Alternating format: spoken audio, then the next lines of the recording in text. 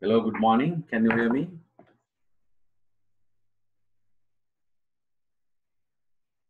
You can unmute and then Good morning, sir. good morning. Okay, then uh, shall we start? Uh,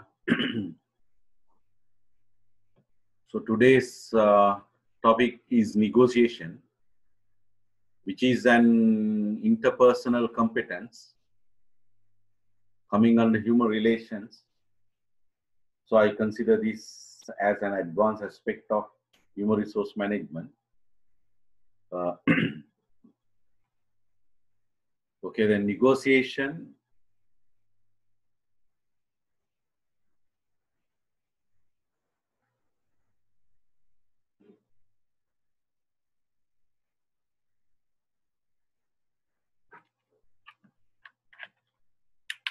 So you can see the uh, definition, my definition of negotiation, uh, mutual discussion and arrangement of the terms of an agreement. Mutual discussion and arrangement of the terms of an agreement. So, uh, you know, doing negotiation is inevitable for you and I. In the life of a manager, negotiation becomes an essential thing for various pu- pu- purposes with various people. It is inevitable for a serious manager to engage in uh, negotiations. So, then what is this negotiation? Basically, it involves a mutual discussion, normally between two parties, and also it involves an arrangement of an agreement that contains the relevant terms, relevant terms with regard to the subject of negotiation. Subject of negotiation. It may be, it may be uh, developing a new contract of employment, or it may be uh, developing a new contract of uh, collective agreement, you know, uh, collective agreement. So that's the subject of negotiation. So negotiation is a mutual discussion, an arrangement of the terms of an agreement. So this is uh, one. So it involves conferring with another person to resolve a problem by Professor Doggreen. And then negotiation is the means by which people create synergies and resolve differences. Create synergies and resolve differences, especially for the purpose of uh, increasing profits and profitability, competitive advantage. So that definition uh, was given by Society for Human Resource Management. And what is the purpose of negotiation? It is to generate mutually beneficial outcomes to the parties involved through dialogue. So mutually beneficial outcomes to the parties. If there are two parties, then ideally we expect that both parties get uh, benefits because of the negotiation. So that's the purpose of negotiation. So then why is negotiation? There are many reasons to solve a problem, to achieve a gain, to sort out differences with other people, to get what a person needs, to reduce costs associated with closed contracts, legal fees, compensation, etc. Assume you have been given, uh, assume you you you were just uh, hired by an organization, and then according to the letter of appointment given by the organization, you are supposed to be paid with say uh, salary of uh, one lakh per month. But indeed, you know, uh, you are not being paid. You know, you you realize to your experience that your salary is less than that. Then you have a problem, and then you have to negotiate with, you know, the relevant party to settle it. Uh, to improve relationships. Uh, okay, before you, yes, uh, if you take that uh, example again, uh, according to the appointment letter, so it appears say one lakh, but you were promised during the interview, you were promised to be paid with one lakh and twenty-five thousand. Then we can consider that there is an error in the letter of appointment. So therefore, to yes, uh, flawed contracting. By then to improve relationships, especially relating to personal life, even relating to business life, uh, then to enhance competitive advantage. So these are uh, specific uh, reasons which necessitate uh, negotiation. So you know, negotiation is common at work, essential for solving conflicts because we are people, and then people tend to have conflicts. Where there are people, there are conflicts. Several times you must have heard about this. Where there are people, where there are employees, uh, there are conflicts. Always, every day, there is a probability of occurring conflicts among people.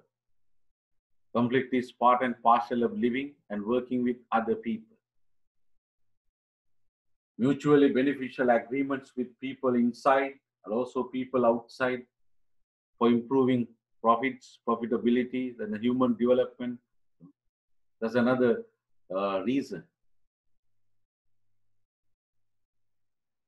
Okay, then negotiation as a critical activity of the head of HR. So if you take the head of uh, human resource department, uh, maybe call as uh, human resource director or human resource uh, manager or deputy manage, deputy general manager human resources. Negotiation as a critical activity of the head of the HR. In fact, the that the manager, the HR head of HR becomes a negotiation maven. So according to masters and others, uh, as a negotiation maven, he or she needs to play three roles. Three roles: advocate, so making the case that negotiation is preferred method of reaching agreement. There are several methods of reaching agreements, solving conflicts, but the head of department, you know, can develop a case uh, within the organization that negotiation is the preferred method that is better than other methods of resolving conflict. So that case, you know, has to be uh, created by the head of the department. So that is normally referred to as playing the role of advocate. And then we have the builder, help identify and construct the skills needed to make negotiation as a core competence in your organization. So if negotiation is the preferred method of reaching agreement, changing behavior and resolving conflict, then the every relevant manager, every relevant employee must possess an adequate degree of competence in successful negotiation. Then successful ability to negotiate successfully should be considered as a, as a core competence. And then this competence uh, within the each relevant employee has to be developed. Then that responsibility mainly rests with the head of human resources. Then we have practitioner, you know, the practitioner role. Lead by example by honing your own uh, negotiation skills. So if you are the head of human resources, then you have to practice. You are supposed to you are supposed to establish the case that negotiation is the preferred method method for solving conflicts. And also then you have to develop negotiation capability as a core competence within all the relevant employees. And then, of course, you have to practice yourself. When you have problems, when you have conflicts, then you are supposed to solve them. Then, in order to solve those conflicts, you have to use negotiation. Then only you will uh, give an example to others to follow you. Right. Then, as far as the head of uh, human resources is concerned, that person has to deal with various negotiations uh, with various uh, people uh, to achieve various objectives or purposes. So hence there are various types of negotiations, various types of negotiations. These types we can break into two main categories. One is organizational, the other one is non-organizational. Then again, organizational uh, negotiations we can divide into two HR negotiations and not non-HR negotiations. Non-HR negotiations. Then as far as HR negotiations are concerned, then again there are two uh, types, formal HR negotiation and informal HR negotiation. Formal HR negotiations and informal HR negotiation. Then under non-human uh, resource negotiations, so, so we have two, formal uh, non-HR negotiations and informal non-HR negotiations. Then under organize, non-organizational negotiations, basically relating to personal lives, personal lives. Uh, then personal, you're on. That means if you are the human resource manager, then you have to negotiate to solve problems relating to, you know, your on. And also, the other one is uh, you will have to deal with uh, negotiation to solve problems of others under your personal life, under your personal life. So there are then various types of negotiations. So you are supposed to learn some examples under each type, each uh, subtype. So then take informal HR negotiations, informal HR negotiations. One is to settle verbal grievances presented by employees. Assume you are the head of HR or you are the manager, and then one of your subordinates has a problem of getting promotions. That person has been expecting to be promoted, assume since uh, two years, two years, or for two years, you know, for two years. But that person has not yet been promoted, then that person has a grievance of not promoting, then that person comes to you to settle that grievance informally, you know, informally, not with uh, not with a written uh, grievance, not with a written request, informally. Another example to arrive agreements on salaries and benefits with job candidates at interview. So in the north, you know, there are, I think, uh, the, there are two examples given uh, under the what do you call under the title, the caption, the uh, vignettes, vignettes, practical scenarios. Okay, then uh, to make a counter offer to an excellent employee who has decided to resign to accept another job from organization.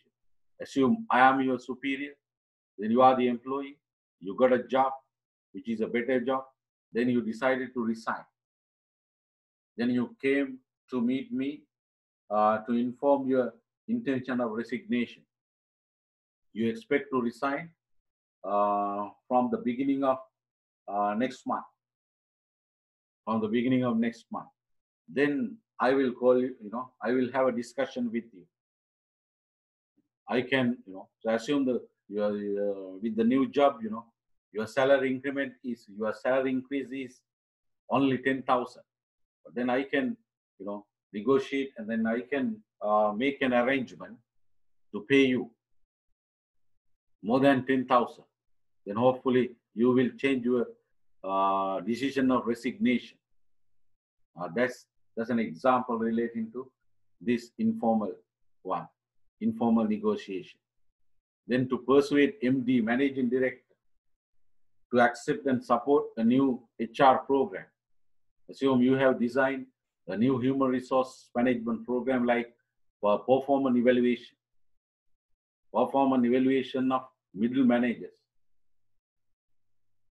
Then you want to get the support of the managing director for that, to implement that. Because the final responsibility rests with the managing director about HR programs. You are there as an expert, if you are the human resource manager, as an expert to formulate HR programs. uh, to implement, you have to get, of course, the official permission of the MD.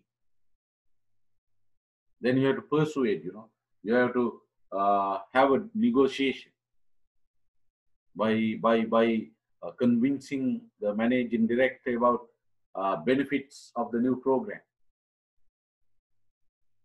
If the managing director, you know, understands that the benefits of the new HR program are significant, significantly exceed the cost of the new HR program, then of course MD uh, gives the official permission to implement it, even with an official circular. And to get approval for a professional development opportunity for you or your subordinate, for you or your subordinate. Assume, you know, uh, you are an employee, so then uh, reporting to me as the boss. Then you got a special training opportunity. Assume you got a scholarship by a well-known university to follow a short program. Assume one month program about uh, okay management executive report writing, management uh, reports writing. Then you are seriously, you know, enthusiastic to follow that program. But then the money, you know, there is a there is a fee involved, and then to get the money from the organization, then I have to negotiate with the relevant MD, you know, relevant MD or my superior. Okay, right. Then the formal HR negotiations to approve next year's budget next year's budget for the HR department, then to decide duties and types of authority to be delegated related to functions of HR. Uh, you must have learned that you know there are different types of authority: line authority, staff authority, concurrent authority, functional authority, like. So therefore, normally there must be a discussion and then there must be an agreement among the top managers about the delegation of authority.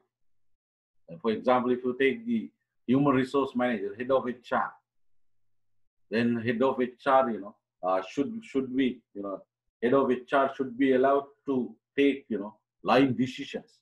I mean, uh, orders to give orders about performance evaluation, about uh, discipline management. You know, some functions, you know, it is uh, essential to give functional authority. Otherwise, the head of HR, you know, cannot uh, make orders.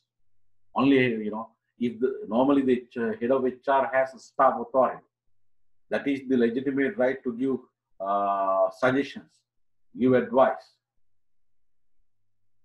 But the under staff authority, the head of HR doesn't have the legitimate right to give orders to others. Orders cannot be rejected. If orders are rejected, then uh, there will be a serious misconduct that is called insubordination. Okay, then to arrive at a collective agreement with unions, very good example, formal example. On, on the formal HR uh, negotiation, a very good example, right? Then in settle an industrial dispute, negotiate with relevant employee union, LT, LT stand for labor uh, tribunal, then government agent conciliate to determine how HR programs such as rewards will be integrated during a corporate merger or acquisition for the business expansion. You know, mergers, acquisitions occur. So the reward, so assume you know there are there are two companies. Now these two companies got merged that one company had a um, different uh, reward system. The other company also had a different reward system. Then we have to decide after merging, you know, which one are we going to follow? Uh, one one alternative is we can uh, let both uh, organizations follow their own uh, system, or we can combine you know, we can combine, you know, uh, and then we we can combine by using the good things of the both reward systems and develop a new one, better one, after the acquisition. So therefore, the negotiations involved. They make contracts with consultants or vendors such as reward specialists or insurance transport providers.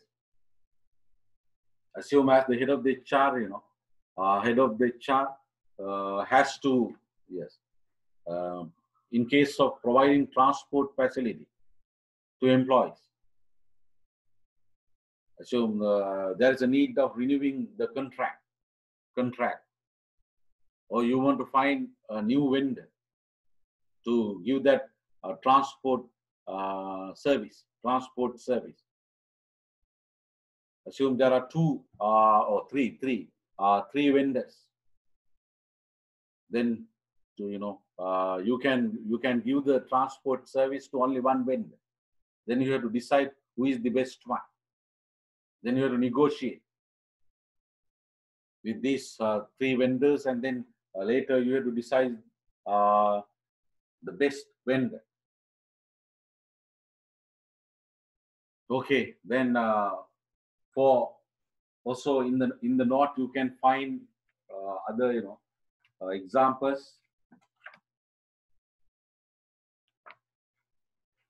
Uh, examples of personal, you know, uh, personal negotiations relating to your own and also uh, problems of others, problems of others. So in the note, uh, examples have been given. The notes, examples have been given. Right. So then, uh, okay, if you take uh,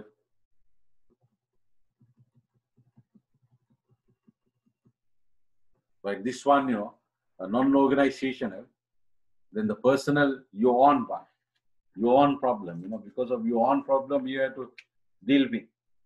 For example, assume, you know, uh, you are married, then uh, tomorrow will be a holiday. Then your plan is to go to, uh, your plan is uh, go to somewhere, you know, uh, maybe assume the Galle, you want to go to Galle uh, as a, as a, as a trip, as a trip. But your spouse, you know, wants to use that holiday as a pilgrimage to Anuradhapura and Damul. Uh, then there is a conflict between you and your spouse because only tomorrow, because the uh, tomorrow will be sufficient uh, to carry out only one plan, trip or pilgrimage. Then you have to negotiate with your spouse. That is an example coming under this. Then an example coming under this personal, you know, others problem. So assume uh, yours, you okay, your your son is a matured person, and now this uh, time has come for your son to get uh, married, and then your son wants to marry to person A, but your mother, uh, the son son's son's mother, uh, that means your uh, your assume yes your spouse, your spouse. Wants your son uh, to marry to another person, a relative to her. Now there's a conflict, serious conflict between your son and uh, your spouse, your spouse. But relating to your personal life, you know, son's problem also is relating to your family, your family. Uh, then you you will have to negotiate with the spouse, also with the son, to settle the problem. Uh, that is an example coming under personal others. Okay, right. Any questions? Any questions? Hello. So I have one question Yes. Uh-huh. Yes. about the merge case. Uh, You told that the uh, in case of uh, merging uh, two different companies, believe that uh, assume, assume that one HR manager, one HR manager from uh, uh, acquired company uh, received a hundred thousand salary, but uh, the other company which is going to acquire his salary is uh, 120,000. Uh, so can we reduce the salary from to 100,000? Uh, normally, normally, uh, remember this, you know, reducing salaries is a very sensitive thing, negative thing. It is not good. It is not good. Uh, according to ideal HRM, normally we don't do that. Yeah. Now, for, for new employees, okay, new employees, the reduced salary can be uh, implemented, but for current employees who have been enjoyed a better salary, normally we let those uh, employees, you know, uh, With negotiation. enjoy their higher salaries until they retire, until they leave. Uh, another thing is uh, maybe then uh, we, we can have a serious discussion and then we can have a decision of doing a job evaluation, serious job evaluation by using point system. And then we can decide, you know, uh, in case of a merger, then we can decide one structure for both companies. Then uh, there will be, you know, but anyway, if one company is very profitable compared with the other one, then again, practical problems. Then the both companies need uh, two structures, two job evaluations, and then two pay structures. But usually it is not good because then the person will be unhappy. Then how can we get the motivation of the person? Because uh, financial things are, especially countries like Sri Lanka, they, they are given with more value. They are given with priority. Otherwise, there must be non-financial things, you know, which will compensate that reduced amount. Maybe greater promotion opportunities, maybe within a very short time, if we can give an assurance to the relevant person to get a better, you know, uh, to give a promotion that involves uh, significantly a higher salary. Then until then, we can, you know, uh, console the person to be patient. All right. Okay, sir. Right.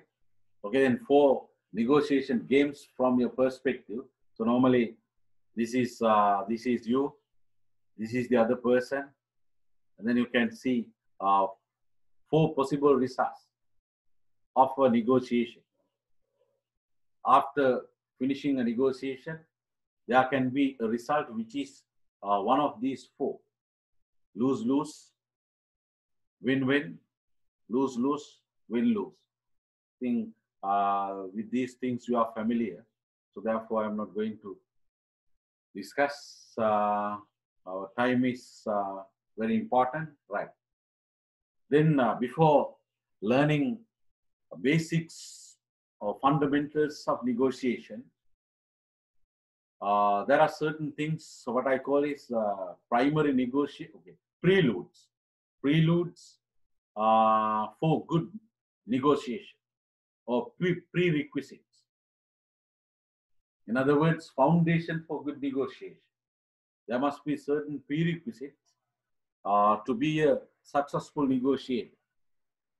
As a skill, you know, after this lecture, normally we expect you to develop the knowledge of uh, negotiation and also develop your skills. Uh, your skills. So that means actually you must be able to engage in uh, successful negotiations. Successful negotiation. So therefore, there are certain preludes. So these are the preludes. Uh,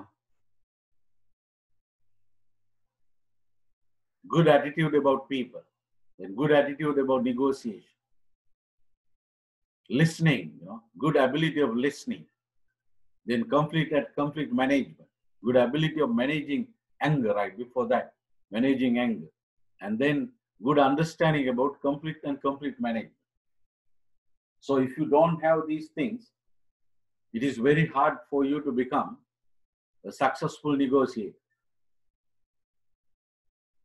Successful negotiator.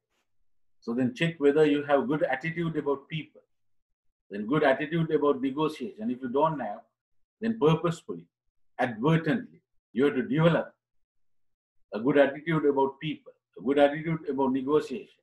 So I hope that you have a good ability of listening. But anyway, surprisingly, this is also missing from many people, you know, many people. Many people, you know, they have the ability of speaking. They have the ability of making good presentations, even excellent presentations. But surprisingly, majority of people don't have the ability of listening. Ability of listening. Even in order to get the best from the uh, lecture, you must have this ability, ability of listening. That's why the nature has given you uh, two, two, two ears and only one mouth. The implication is that talk less, listen more, listen more. Right, then, okay, then uh, let us do a kind of exercise. Uh, I think in the north, I have given that. So you got this one uh, right.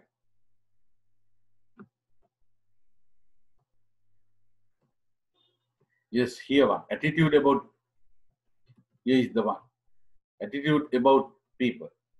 So this is an exercise developed by myself in order to uh, assess the degree of or the nature of attitude of a person about people. Shall we do that? Attitude about people indeed. So indeed, not only for negotiation. You are taking this course as an advanced course. Then every person in HRM must have right attitude about people.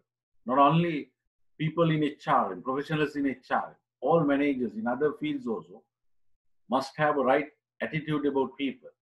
Otherwise, they will, uh, you know, it is very difficult for them to be good people managers. They may be HR specialist, HR generalist, or managers in other fields. But managers in other fields also have to deal with HRM. Then they must be good. They are required to be good people managers. Every manager. That's why initially you must have learned that the responsibility of HR rests with every manager. Okay, then let us take this one, right? Uh, humans, because this is online teaching interaction is very limited. So the human humans are the most precise gift of the nature. Do you agree strongly? Yes. Yes, of course we have to correct. Uh, then, the, then the human resources are the most important resource in an organization. Strongly agree. Time is more important than humans. So normally, people think maybe indifference. The majority of the people may check in as indifferent or uh, agree. But ideally, because here we are testing the nature, of, we are evaluating the nature of the attitude about the people. Then for a person uh, with the most appropriate attitude about people, the ideal answer is strongly disagree. Time is more important than humans. Even time is there because of humans. Time has time is calculated by humans. Without humans, you know, the time becomes useless. We can't work more than we can. Strongly agree. We can't work more than we can. Yes. We can't work more than we can. So it, it indicates, you know, the value of the people. An organization cannot perform more than what its employees perform. Same thing, but at the organizational level. An organization cannot perform more than what its employees perform. So then overall organizational performance is the summation of summation of the performance of each employee or all the employees. Then if there are no humans, there will be no need for negotiation. Strongly agree. Some people cannot be developed. No, strongly disagree. Personally, you may think that you know it's very difficult to develop some people. There are very, very bad people who don't have any kind of potentiality, any kind of potentiality or potential, potential. uh, ability to, you know, uh, learn in future and then improve the skills in future. Potential. So it's strong, but anyhow, on the HRM, we, we do believe that everyone can be developed. Everyone can be developed. As an excellent teacher, you know, so normally uh, every students can be taught, every students can be developed. Uh, that's the attitude. The people genuinely, you know, genuinely in the class, you know, all students, you know, will not be excellent definitely. But this is about attitude, you know, this is about attitude. People tend to change most of the time, so they cannot be trusted. Genuinely, according to experiences, this is right. This may be right. Even as, as far as my personal experiences are concerned, you know, I can agree with this. People tend to change most of the time, so they cannot be trusted here.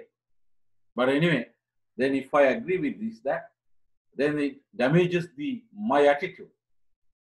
Attitude is a psychological thing that affects your actions, that affects uh, research seriously. So therefore, they do not damage the attitude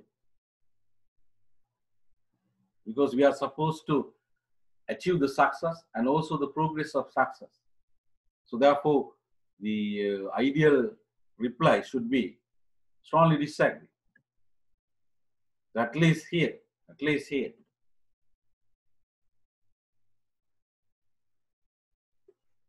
I hate people generally. Strongly disagree.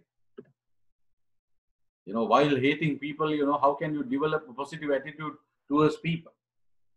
And how can you negotiate successfully with people, you know, if you hate people? Then I wish I could live in a place where no humans are. If I uh, you know, translate this into Sinhala, මිනිස්සු නැති තැනක ජීවත් වෙන්න තිබුණා නම් කොච්චර හොඳද sometimes you might you know have this type of wish indicating that you have wrong attitude about people but as a as, as you know as a person in HR as a managing in HR we should not have you know uh, this type of wish that was strongly disagree strongly disagree. So therefore, you can see in the note, you know, I have given, in fact, the uh, ideal responses, then your interpretation. I hope, you know, you are here. At least you must be here genuinely. Here. As far as I am concerned, of course, I am here. Maybe 47, my marks, 47 something. So I am here. Right. Uh, then uh, good attitude, you know, good attitude about negotiation. Then we can use this uh, questionnaire to measure whether you have good attitude about negotiation. Our time is limited. Anyway, shall we do this one also? Negotiation is about earning profit. So it is not a thing that we should value. So if you strongly agree, that indicates that you don't have a good attitude. So therefore, strongly disagree. Negotiation is about earning profits. Uh, that may be true, you know. In a really a commercialized situation, it should be true. Negotiation is about earning profit.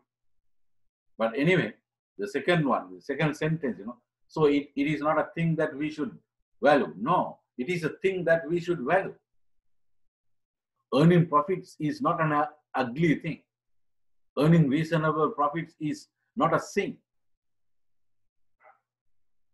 Right.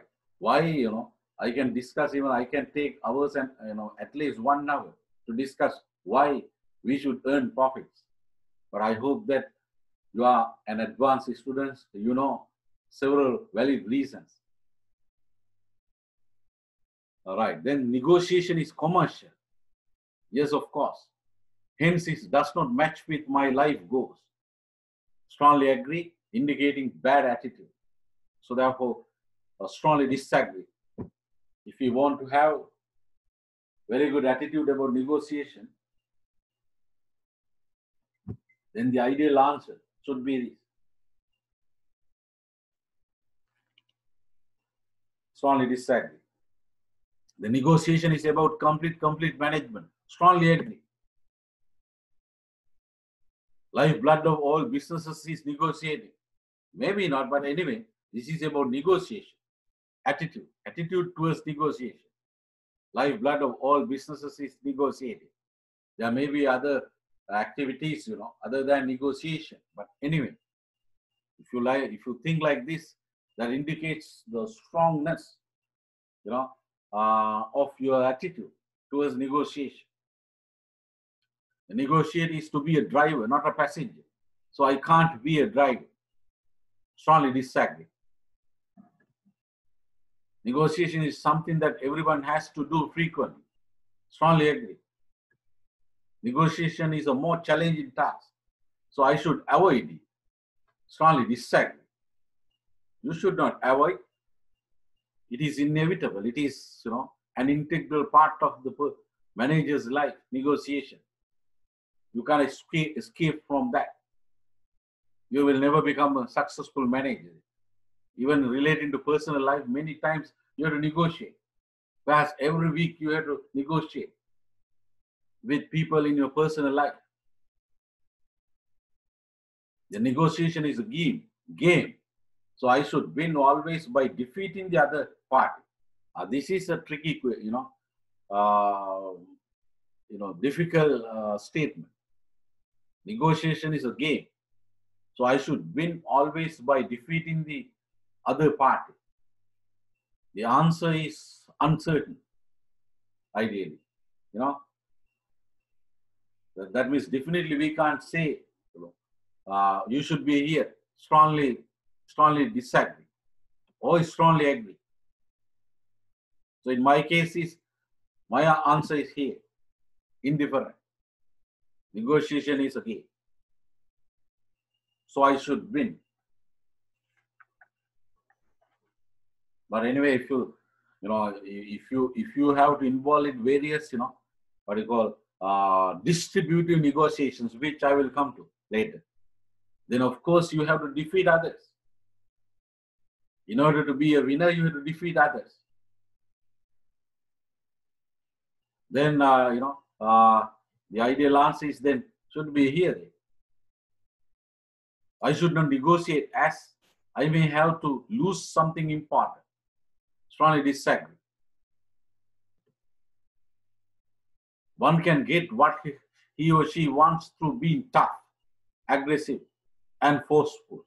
Of course, in negotiation, sometimes you have to do, you have to be tough, you have to be aggressive, you have to be forceful to win. And I am not a right sort of person for this. I strongly disagree. Towards uh, a very good attitude, you know, towards towards developing a very good attitude about negotiation. Okay, then uh, if, if I do scoring, you know, so this one you go, you, you have, you know, the, the, the procedure also here you got. So therefore you can do that. Okay, all right. Uh, any questions? Any questions about two exercises? Two, what do you call the, two measurements? Sapat? Others? No, sir, no. No. Right, okay. Because it is clear, no, in, from the note you can, yes. Uh, right. Then key concepts of negotiation. There are four, uh, my memory is correct, yes. Ah, yes, there are four. There are four concepts, you know. You should learn, you, you must have a good understanding about the right meaning of these four concepts. First one is BATNA, best alternative to a negotiated agreement. Then RP, that is reservation price. Then ZOPA, uh, zone of possible agreement. Then VCT, value creation through trades. Okay, then what is BATNA? So indeed, indeed, you know, this is a concept developed by Professor Roger Fisher and William Ury in 1991. So then according to Johnson and Locke, uh, your BATNA is your preferred course of action. Preferred course of action. In the absence of an agreement. It is, you know, remember, you know, it is not essential to engage in uh, negotiation. Without doing negotiation also, you may be able to settle a problem. If you are a very strong person, mostly you don't need to do negotiation.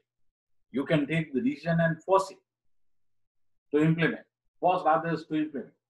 That is possible. There are many examples in reality without doing any negotiation because you are so powerful that you can make decisions without having a single discussion with anyone. That is possible. But anyway, uh, so therefore, you know, therefore, even if you if you, if you do, uh, if you do uh, engaging in negotiation, then what is BATNA? That is the best case scenario that is available to you if you cannot reach agreement in the negotiation at the land, at hand, at hand. Assume you have a land problem with the neighbor. You have a land problem. And then, you know, you have to have a, a negotiation, to have a settlement between you and the neighbor. So otherwise, you know, okay, then the best alternative, the BATNA, maybe uh, the, the, the decisions that you can get if you go to the court. If you go to the court, that may be the BATNA. So your BATNA is basically the best possible outcome you can get if you negotiate with someone else or go to court if everything goes to your favor. So this is an example. This is an example. Your CEO wants you to train all the production supervisors in respect of human relations. 25 production supervisors are there. You have decided to contact the nearest government university excelling in management education. The relevant chairman of the Board of Management Studies is ready, ready to offer a tailor-made program and the total fees negotiation. What is tailor-made program? Exclusively developed program for you for, for, for training all your you know uh, 25 production supervisors. Then there's another university, namely Management City University, located in 25 kilometers away, specializing in management studies and commerce. And then that offers an advanced certificate in human relations. So the charge is 50,000 from a candidate. Also, it offers a 10% discount to an organization that sends uh, 10 candidates to follow the course and 20% for 20 or more candidates. Okay, then what is the BATNA in this scenario or in this vignette? What is your BATNA? Of course, I have, I think I have given the answer, you know. So it's easy for you to do self-learning. So in this case, the BATNA is to send the supervisors to follow the course offered by the management city university. In fact, that, that's that's the other alternative. You know, Okay. its value is value in rupee terms, one million or uh, 10 lakhs, 10 lakhs. So you can see how you know it comes. Then sending the supervisors to this university has two disadvantages of cost. The trainees have to travel for 25 kilometers. And also they have to spend time and energy to meet the assessment requirement. So there are assessments. Then assume that the both universities offer the same in terms of curricula and their content. So assumption is there. Right. Okay, then uh, reservation price easy to understand, you know, easy to understand. That is your, if you are the negotiator, that is your walk away point. That is your res uh, resistant point. So assume, you know, you are the, you are the seller. No, let, let, let us say, I am the seller, you are the buyer. I am selling my old car. Then you want to buy that car from me, that car from, uh, car from me. Then at least, you know, I need, assume I need at least 100 for that car. Uh, that is my walk away point or resistance point. If you offer a price which is you know lower than 100, definitely I will stop negotiation and I walk away. Now that is resistance point. So as long as your price is higher than 100, then I will be in the negotiation. If I am not that powerful, uh, then your, your price will come to 100 and then unwillingly, uh, you know, not unwillingly, not with higher level of happiness, I will have to accept that. At least I expect that. Uh, that's why walk away point or resistance point. Okay, then so far you can understand uh, with my example. It is a range, you know, it is a range or area where, you know, both parties, you know, can have a deal, can have a deal successful, then making both parties satisfied. You know, there is, uh, if there is no ZOPA, uh, then there is bargaining impasse. You know, bargaining impasse. That means very, you know, it is, it is, I mean, it is not possible to have an agreement. If there is bargaining impasse or negotiation impasse, that means there's no ZOPA. There is no ZOPA. So in order to have a ZOPA, there must be an overlapping.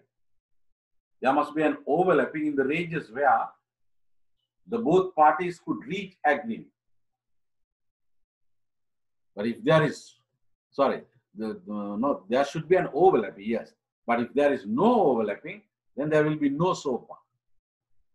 Okay, look at this example. Here the buyer's reservation price. Assume building a, okay, purchasing a, a house, purchasing a newly built house. Buyer's reservation price. Residential house, yes. Buyer's reservation price is 30 lakhs. Then the seller's reservation price is 27 lakhs and 50,000. At least the seller expects this much. Normally, you know that, uh, you know, if possible, buyers, normally buyer, buyer's behavior is to minimize the price. Seller's behavior is to maximize the price. Then both parties, you know, engage in uh, different processes.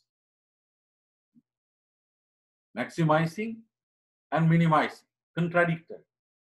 So therefore, they have to come to, you know, they have to come to a certain overlapping in order to have an agreement.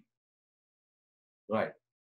So the uh, so if buyer okay, if seller's price like okay, buyer's reservation for purchase is right, level right.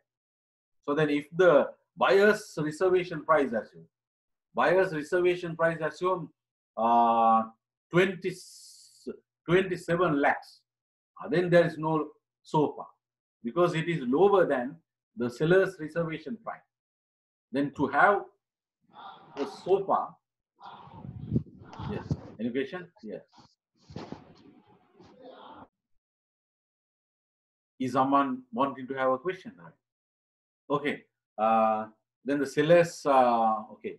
Uh, if buyer's price is lower than seller's reservation price, buyer's price, you know, then there's no ZOPA. There is no buyer's reservation price. There's no possibility to have an agreement. So therefore, remember it is, you know, it is always uh, uh, there should be a, you know, there should be a condition always that is that the seller's reservation price should be lower than the buyer's reservation price. Okay, then uh, this is an example. I think uh, we will save time. Then uh, value creation through trade. When each part in the negotiation obtains something more valuable by giving something else less valuable. Value creation through trade occurs. So therefore, both parties must be competent to create something valuable, but it is usually less valuable than the major subject of negotiation. The value of the uh, subject of negotiation. Uh, that's the main thing. So it is more likely that collaborative bargaining, you know, collaborate from collaborative bargaining, we can create, uh, we can have this one, create new values to both parties through distributive bargaining. In other words, uh, uh, competitive bargaining, we can't achieve this one. Only cooperative bargaining we can achieve, or integrative bargaining. That is an alternative term to co- collaborative bargaining. We will discuss after this. Right. So this is an example. Read the following minute. Is there a VCT? Suranga, the managing director, is negotiating starting salary with Prabhat you know, during an interview. You know, Prabhat is a graduate in HR from reputable university, very reputable, who is currently working as a senior HR executive with an excellent performance and recommendation records in AB firm. From the interview too, he became the best performer with a prediction of very high potential. Suranga offers uh, 80,000 as the starting salary, but Prabhat, you know, Prabhat does not accept it by insisting uh, rupees so much, uh, yes, 1 lakh. As the discussion continues, Prabhat mentioned that he wants to read for a master's degree in business administration. A further discussion reveals that he needs uh, 2 lakhs, about half of the MBA fee. Assume the total fee is 4 lakhs. Then to finance his reading for an MBA from a reputable university. Suranga realizes that if his company paid the participation partial tuition fee, half, the company would be getting a save on payroll taxes by paying the tuition instead of the salary, higher, higher salary. Assuming, you know, this is so according to government regulations, tax regulations. Then he proposes if we pay the half of your MBA tuition fee, do you like to accept 80,000 as your starting salary and work for us at least for three years? Prabhat decide to accept the proposal happily. You see value creation through trade. Something less valuable but still valuable.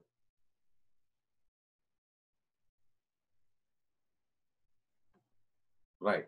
Uh, distributive negotiation. Now the okay then having learned those four concepts,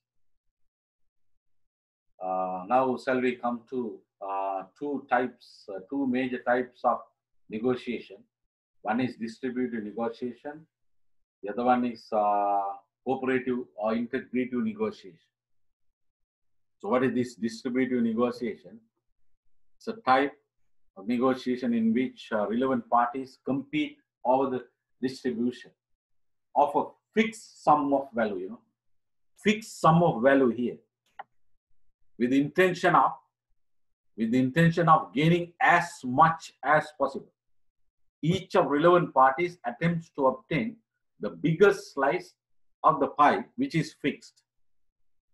Okay, let me, for, for easiness, you know, let me use this figure, then it's easy, even though I have uh, put uh, after finishing all these uh, characteristics and all this. So let me go to this one, this one, distributed negotiation. Look at a serious look at these two figures, figure 8.3 and then figure 8.4. Then uh, figure wise, you will be able to understand the differences between the two types. So here you can see there are two negotiators you know. So each is at the opposite side of the table opposite side of the table. Each attempts to divide a fixed pie. This is so this is the fixed pie. For example assume uh, you know you want to buy a residential house. Assume i am the seller of that. I am the seller of that. My price is 100 you know?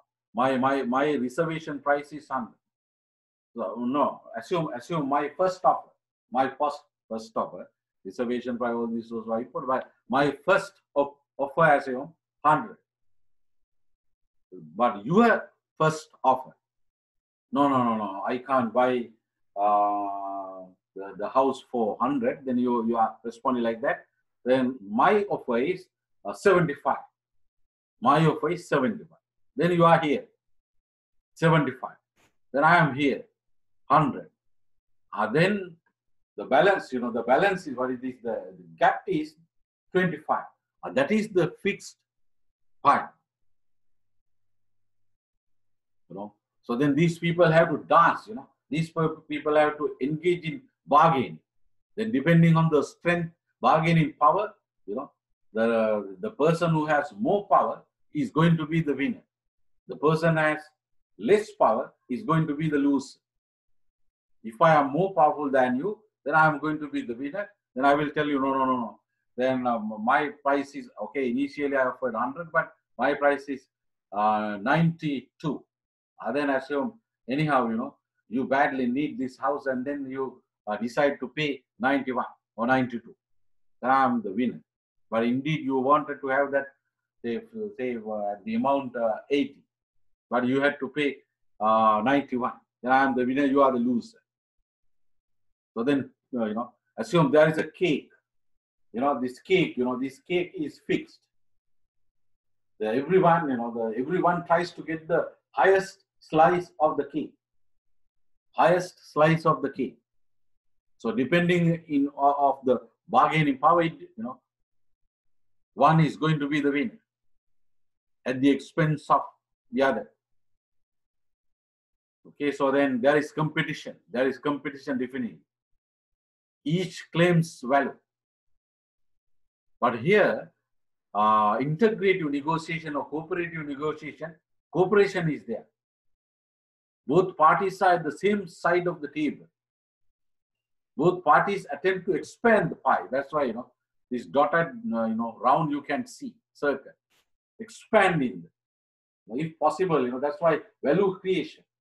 Both create value in addition to claiming it. Then both parties are going to be winners because there will be mutual gain. So remember that under integrative negotiation, there will be a mutual gain. Under uh, distributive negotiation, there's no mutual gain. Then the differences further you can see, you know, exhibit 8.1 that presents a comparison between distributive negotiation and integrative negotiation. Several factors, under several factors. Look at objective, then you can see, you know, the this under distributive negotiation, to get the biggest slice of the pie. But here, to create value by expanding the pie, then the role being the driver, not the passenger. If you are the negotiator in the distributive negotiation, you want to be the driver, not the passenger. But here, being the disturbance handler, not an aggressive competitor disturbance handling because both want to win. You know, if you are the one party and I am the other party, you also, you know, expects my winning. You expect my winning, I expect your winning. You let me win, I let you win. Okay, so then that's why I outcome here win-lose solution. But here win-win solution. The satisfaction of the negotiator mostly one party becomes satisfied at the expense of the other's satisfaction. Then Both parties become satisfied, owing to mutual gains. Then the focus positions, you know, proposals. First proposal, second proposal, third one, like, you know, until we have a solution. That's called, there is a dancing, you know. There is a, there's a process of dancing under, under integrative negotiation. So there are different proposals coming from the buyer and also coming from the seller. The interest of the both parties here, the focus. Interest, their expectations. Their information sharing here low, not disclosing any significant information, especially reservation price, frustrations, objectives of this, you know, seller or the buyer. They are not revealed only minimum needed information is change, is exchange. But here high, you know, revealing interest, feeling, etc. To find ways to satisfy interests of each part. You know, if the negotiation, you are one party, then I am the other party, then you know, I want to know your interest, your frustrations, your expectations. So that you know, I will think of developing a solution that will make you happy while making me also happy. You also want to, you know, know my interest, my reservation price. So like these things. Then creativity, minimum creativity needed here, high to find solution to create value, you know, because here the value creation through trade is expected. Expanding the pie. For that, you know, there must be creativity, which is not an easy thing. Then the relationship, often unfavorable, short term and uncooperative, but here always favorable, long term and cooperative, you know. You see, you know, this is not uh, favorable. This is favorable in terms of relationships, which are good. Right. So normally relationship among the stakeholders are expected nowadays. You have learned that. Symbiosis, not zero sum perspective. You can remember, I hope. Otherwise, please learn. I have taught already. Right. So then uh, these are, you know, you can see these are the characteristics, you know, probability of uh, what is this management of uh, predictability, predictability of distributed negotiation and management of expectations. Dancing, you know, dancing, predicting step one, predictable step one, two, three, you know, I think you can understand. You are the buy I assume I am the seller. My first price, you know, say 100. Then you say, no, sorry, I can't buy, you know, then you offer 70. Then I say, no, no, how come? Can I take, so can I sell for seven, 70, you know? Uh, you know, so then I will give, you know, this is, these are the features and all these things. Then I will offer for the second time, my second proposal, uh, 97. Then you say, no. Then your second proposal is, say, uh, 75. Then for the third one, I say, no, 80. Then you will say, uh, 78. Then, no. And ultimately assume, uh, okay, 77 I accept. Then there was the dancing. Okay, then uh, claiming the bigger slice and all this, being the driver coming positional, negotiators must make concession in order to reach agreement, you know. So what is a concession? Concession is a change in one negotiator's position with the intention of inducing the other negotiate to change his or her position. So I assume you know, I will change. Okay, so your first offer is uh, 70. Then I say no, no, no. So okay, price is this. You know, this uh, residential house has these these features. Uh, therefore, then okay, then give me uh, 95. I know. So that means you know. So I I made a concession, deduction from 100 to 95. You also have to make a concession. That means from 70 to maybe 75. Your second proposal. Okay, then uh, right. Then what is what do you mean by this one? There is a pattern to the timing and size of concession. Timing and you know, there is a pattern to the timing and size of concession. Okay, let me give an example like this. Assume you are the buyer. I am the seller. I am the seller. So this is about, you know, the, the, subject of negotiation is a used car. Used car. Okay, used car. Uh, then, okay, you are, okay, then I give my first offer. Uh, that is 100. The price of the used car is 100. Then you give your first offer. Uh, that is 70. That is 70. That is 70. So then, uh, timing, okay, let us take this one first. Timing. Timing. Then I will take sometimes, you know, not at once, you know, after after getting your response as 70, at once I tell, assume, I tell, okay, give me 95. Uh, that is one situation. Assume the second situation, no, no, I don't give, you know, I take time.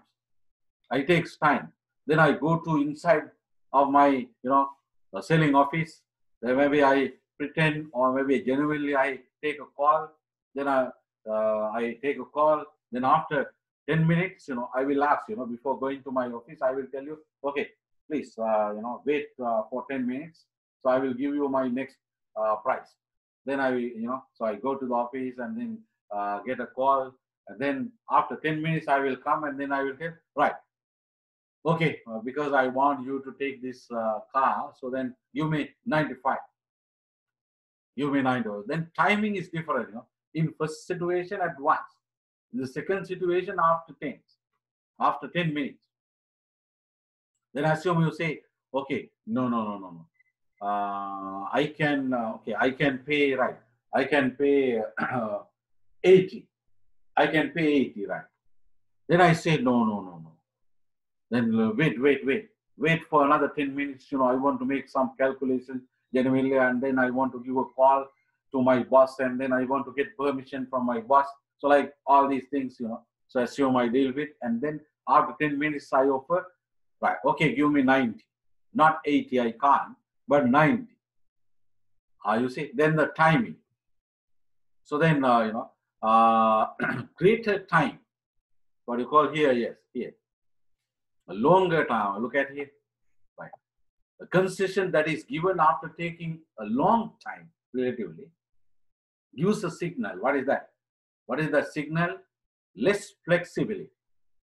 Less flexibility.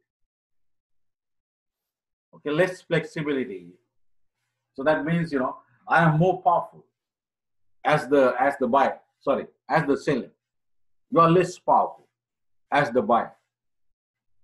A quick concession signals availability of additional concession.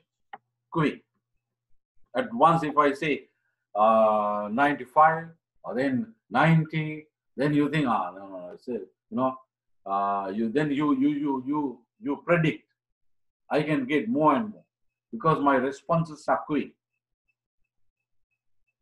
You know, the, the, these things were found according to research. You know, uh, even though I have not mentioned the research uh, researchers' names and all these.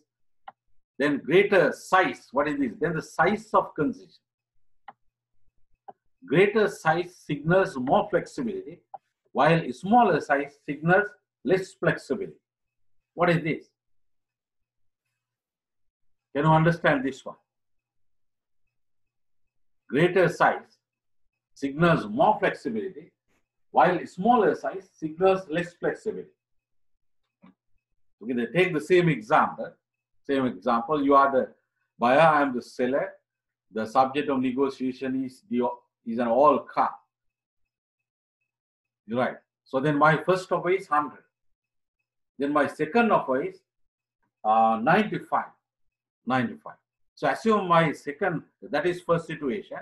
The second situation, my second offer is 99. Then in the first situation, my third offer is 90. But uh, in the second situation, my third offer is 98. Understood? 98.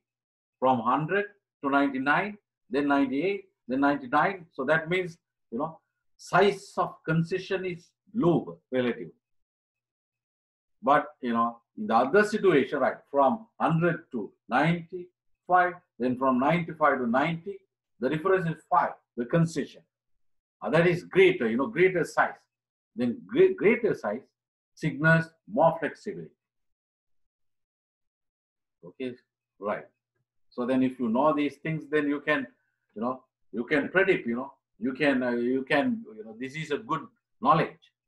Then you can uh, develop a skill in winning in the negotiation by using this knowledge. Right, then the end point is likely to be the middle point between the first two reasonable offers. If your offer is reasonable and if my offer is reasonable, so normally in the middle, you know, the end point, that is the you know that is the point where both negotiators, you know, reach an agreement. At that point, according to research, is usually the middle point between the two, uh, uh, between the first two reasonable offers. So if you take our same example, your, your first offer is 70, my first offer is 100, assume both are reasonable offers. And then maybe the middle point. What is the middle point? 75. Well, for yes, for easiness, assume your offer is 50, my offer is 100. And then the middle point is 75. Then uh, at the 75, uh, we can expect the agreement reached. Then uh, negotiators doing, you know, shortcutting, short circuiting, you know, at her own risk, you know, according to research studies, you know, doing shortcut is not a good thing in negotiation. So it will lead to more frustration. Then, so avoid short circuiting the dance. Go it systematically. Right. So then uh, look at this uh, negotiation process. So this is our vignette. The, the union of AB firm tries to negotiate for the best possible wage increase. It has a resistance point of 2000 increase per month. The target of 2500 and an initial demand of 4300. The management expects to offer uh, rupees 1500 but as a target top, 2100 and the resistance point is uh, 2400. So then there's a positive settlement range and it is between 2000 and uh, 2400. So then the situation is depicted in this figure, the figure 8.2, distributive negotiation process. So here we have the management. Here we have the this side right, uh, my right side, uh, the trade union. My left side, the management. Then the management initial uh, point. That is uh, initial, you know, uh, offering. Offering uh, point. Now the no no no. I'm sorry. This side, this side indeed, yes, this side, the trade union side. This side, management side. Then here the initial demand point. Trade union, you know, initially wants to get 4,300. Uh, then they are genuinely they expect this. 2000 to get 2,500. You know, because they expect 2,500, they ask for 4,300 because there is a dancing. This is a negotiation. This is a negotiation. Then the resistance point. So minimum they expect 2000. So then uh, lower than 2000 they don't expect. Then they then they stop negotiation. And here the management side. Then so in the management side here this should be then resistance you know point and then target point initial you know initial offer point initial offer point. This one, initial offer offer point. Right. This one is initial demand point. Initial demand point.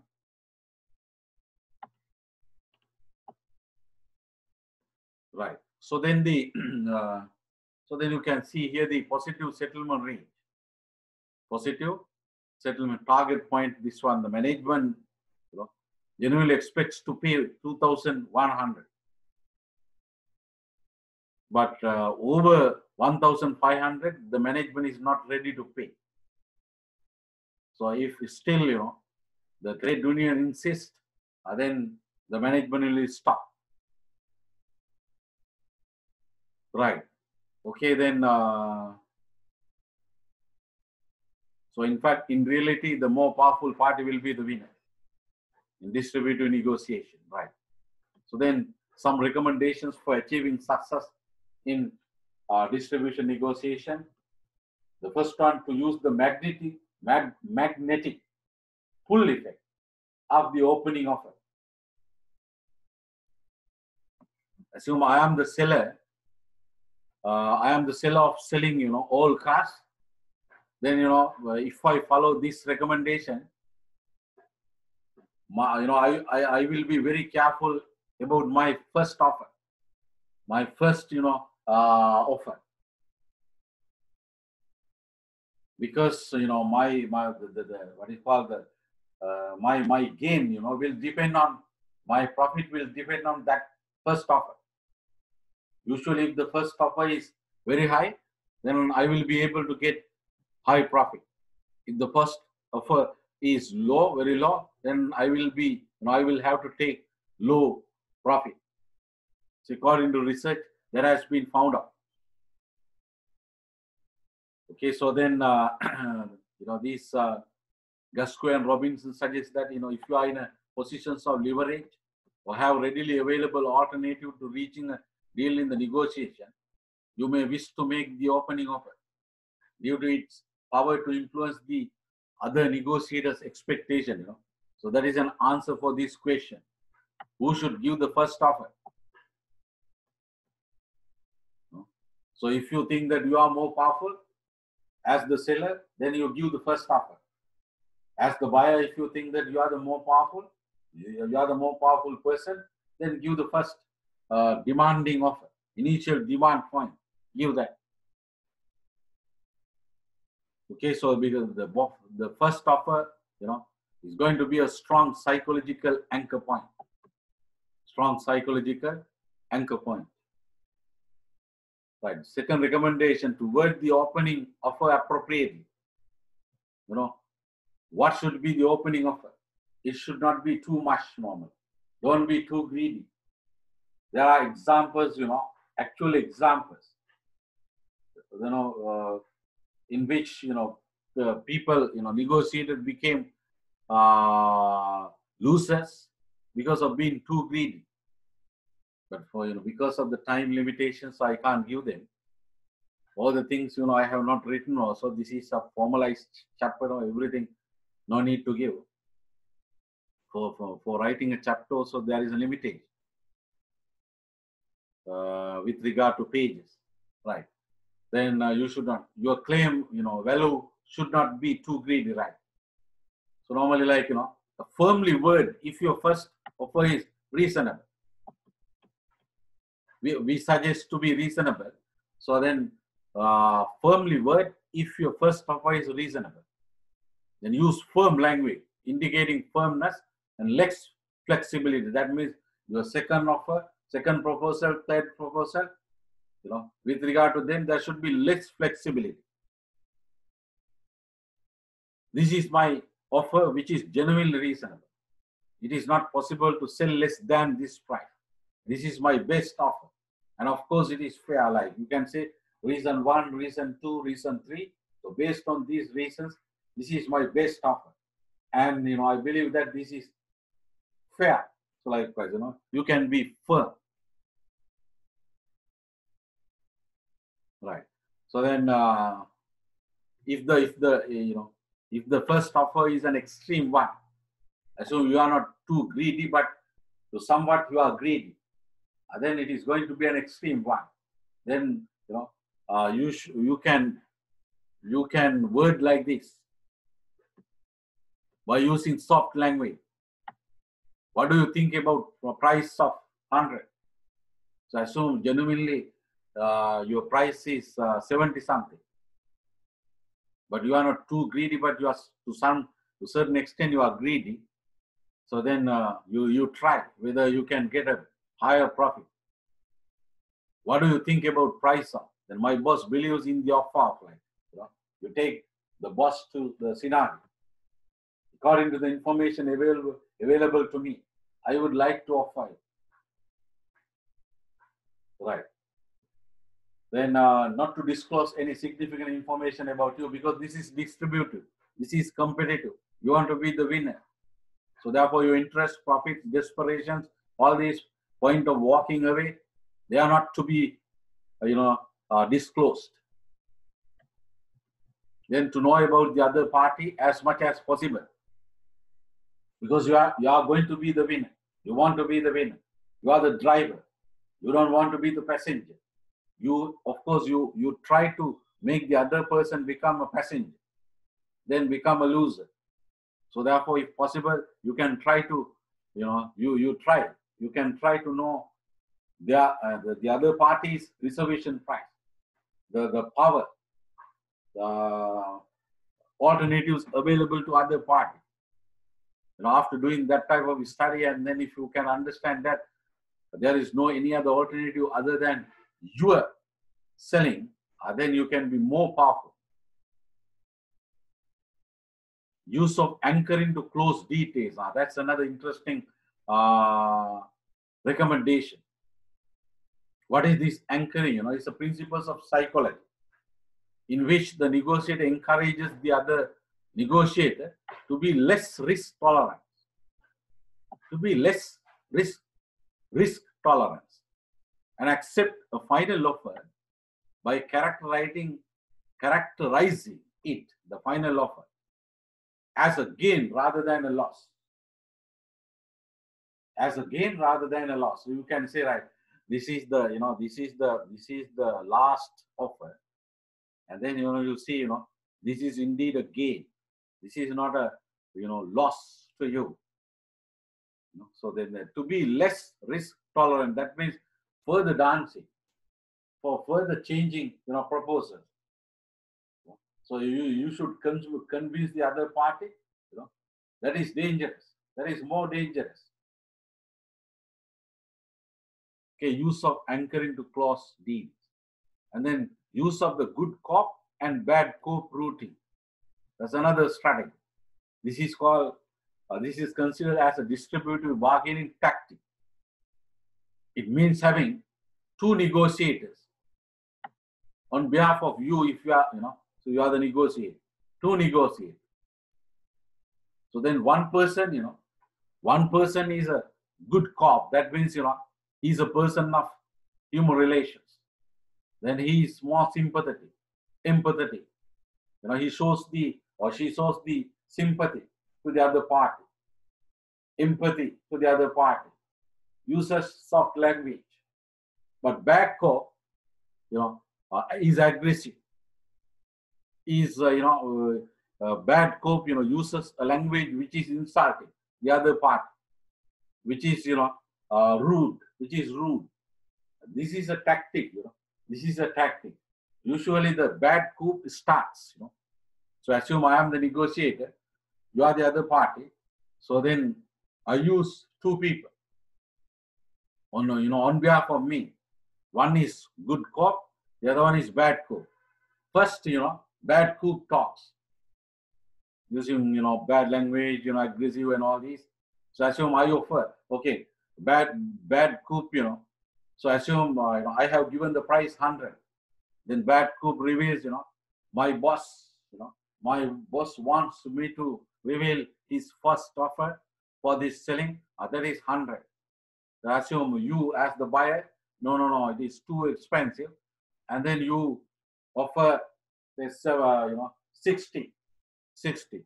Then of course, then I will talk like this. How ridiculous, you know. This is a business, you know. This is not a charity. Something. You know, are you making a job? So something like, you know, uh, don't don't insult us. You know, we came here, you know, by we have many alternatives. Our time is uh, expensive. So something like, you know. Then the good cop comes, you know, uh, good cop comes to control the bad cop. Starts controlling the bad cop. No, no, no, no, don't talk like that, you know. This is a buyer, you know, buyers are very important, you know. Because of them, we, you know, we do the business. Without them, we can't do. So then you apologize, you know. I mean, not not you. The good cop, you know, good cop will engage in apologizing to you, and then using soft language, and then psychologically, you know, you will have a contact with the good cop then you will tend to deal with the good cop.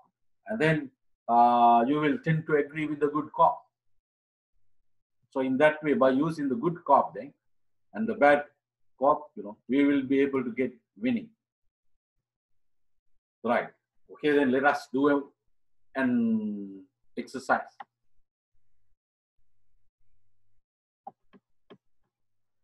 To make you understand further. So let us take uh, the, my memory is correct, the last one. Last activity. Yes, this one. Activity seven.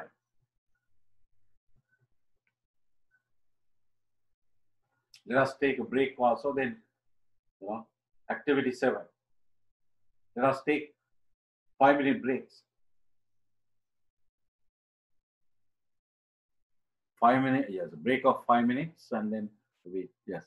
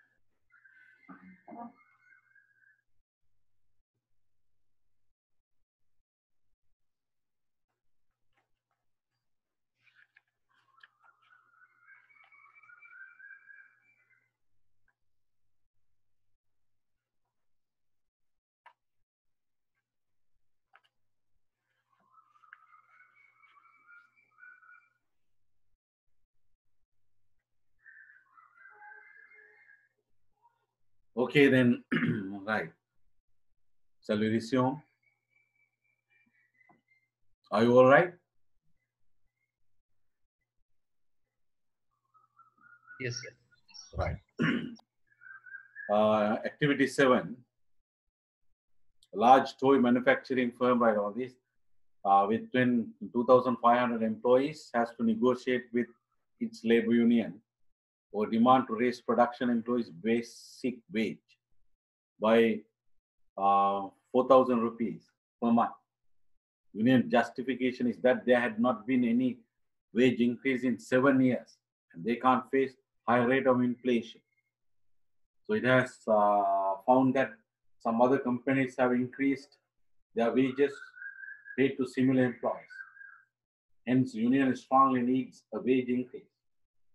Management of the firm wishes to continue paying the same wage and all this. Its justification is that competition coming from multinational companies. And also the other companies very severe. And therefore, the increasing wage will uh, result in increasing production cost of toys and then increasing its selling price, which most likely reduces the demand and then the profit of the firm. Hence, the management, you know, has no consent to increase the wage. Okay, then my first question is, can the firm refuse to demand and continue as usual? Why? Can the firm refuse the demand and continue as usual? Why? Of course, cannot. Cannot. Then why?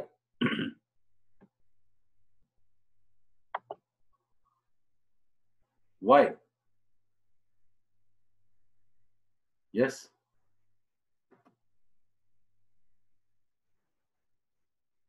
Why? Why? There are there are there are there are three reasons at least. You know, reasons have been given here. One is they had you know there had not been any wage increase in seven years. Then reason two, higher rate of inflation. Then reason three, strong uh, need of the union. And also even we can add another reason, you know, several firms, competitive firms have already paid, already increased their salaries to these employees, similar employees. So therefore, because of these four reasons, the firm cannot refuse the demand and continue as usual. Of course, firm can, you know, if the firm is very adamant, the firm can do that, but if most likely there will be a strike. There will be uh, a big conflict. Right. Then assume uh, assume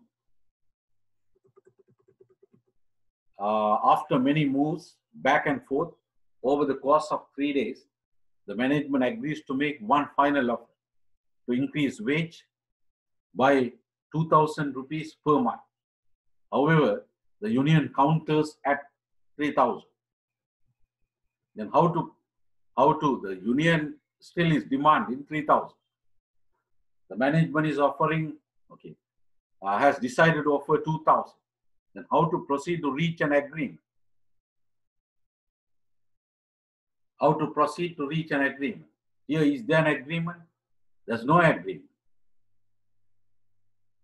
There is no agreement. Here there is now the there is a, a, a fixed pie. That is a thousand.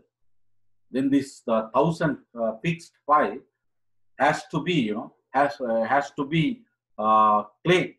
I mean they are they are they are they, they are trying to get the highest of the fixed pie. That is uh, the fixed pi PIE. That is uh, thousand thousand rupees. Okay, then how to proceed to reach an agreement?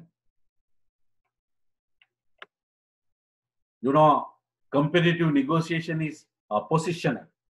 A position is a special proposal stated by a negotiator to reach an agreement. You know that.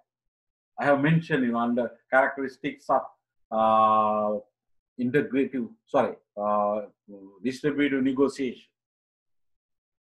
The negotiators must make concessions to reach an agreement. Without making concessions to reach an agreement, there won't be. There will not be. So a concession, you know, I mentioned earlier, a concession is a change in one negotiator's position with the intention of induce, inducing the other part, the, the other negotiator, to change his or her position. Therefore, here the, the union has to change. Also, the management has to change.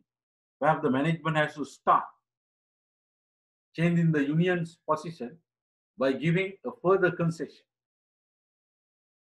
Maybe 2,200 something. Right. Okay, then. Assume the management makes only one more move in dancing to increase wage by 2,400 rupees. It says it cannot afford more than that. Is it possible to reach an agreement or not? Why? Again, not possible, you know, not possible. As the union demand is 3,000, it is not possible. Until the union agrees with uh, 2,400, there will not be an agreement. There will be not be an agreement. So therefore, further concessions are needed. Further concessions are needed on the part of the management, also you know uh, on the part of the trade union. I then assume that the management got the final offer of uh, 2,700 rupees. Union has changed, okay, from 3,000 to 2,700. And then it raises its final offer in the following way. The management raises its final offer in the following way. So far, we have been trying to find the rate of wage increase by spending a lot of time, energy, and also some money. We have come a long way, but it is not possible for us to pay uh, 2,700 rupees. Hence, our best and last offer is 2,400 rupees. That is uh, 3,000, you know, less than you want, not 3,300, less than you want. But this is our last sentence. 2,400 is the best we can offer. Okay, the sum of uh, rupees 2,400 is the best we can offer.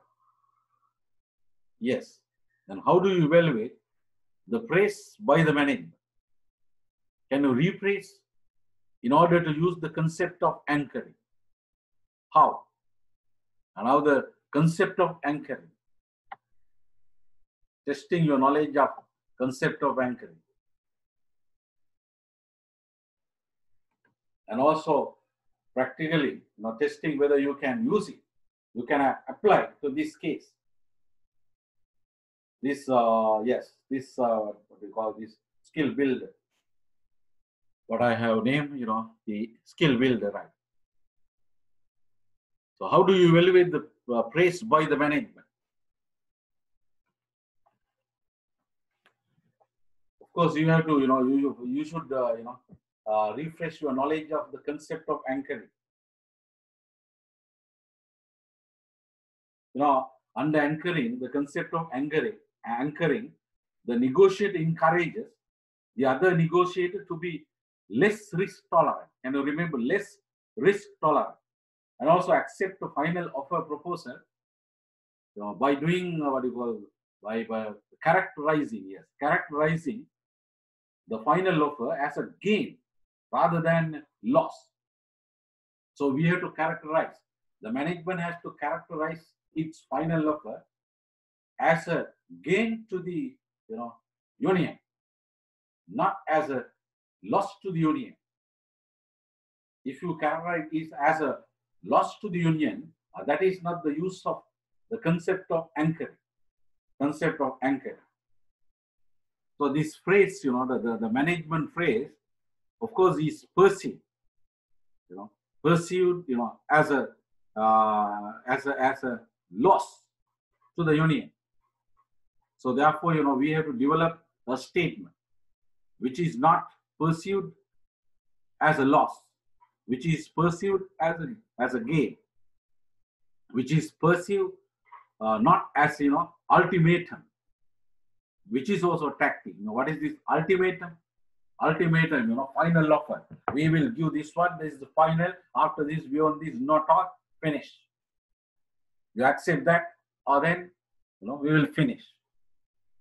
Something like that is also not good, you know, because you know we have to maintain a good relationship with trade unions, especially in case of an organization which is unionized.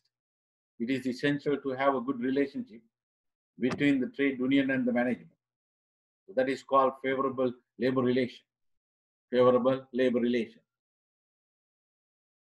Therefore, something like you know, let me let me phrase like this. Uh, so far, you know, we have been we have been working cooperatively for seven years. We have been working cooperatively without any grievance coming from you. Uh, of course, uh, we, we, we can understand that uh, your, your, your demand to increase the salary is reasonable. Is reasonable. We can understand that. We do understand. That's why we got together and then we you know started thinking of a new salary increase new salary increase. So by considering the cost and other things, you know, this is uh, you know we can offer uh, we can offer uh, 2,400. So in fact, you know, we wanted to we wanted to give initially initially we wanted to give nothing, but later after decide after listening to you, in fact, generally we wanted to pay something. That is uh, that is uh, 1,500, you can say 1,500 or even 2,000 you can take, 2,000. But now, you know, we decided to offer 2,400, 2,400. So it is a gain to you. It is a gain to you. Uh, that uh, you know, I can consider, you know, as a phrase that will involve using the concept of anchoring. There's something, you know, more than what we want to give, rather less than, you know, less than what we want, you know, I mean, you know, as a gain. Because the trade union wants to win. The trade union people also, you know, they have political objectives also. Right. Okay, then. Uh, any questions regarding this? Any questions?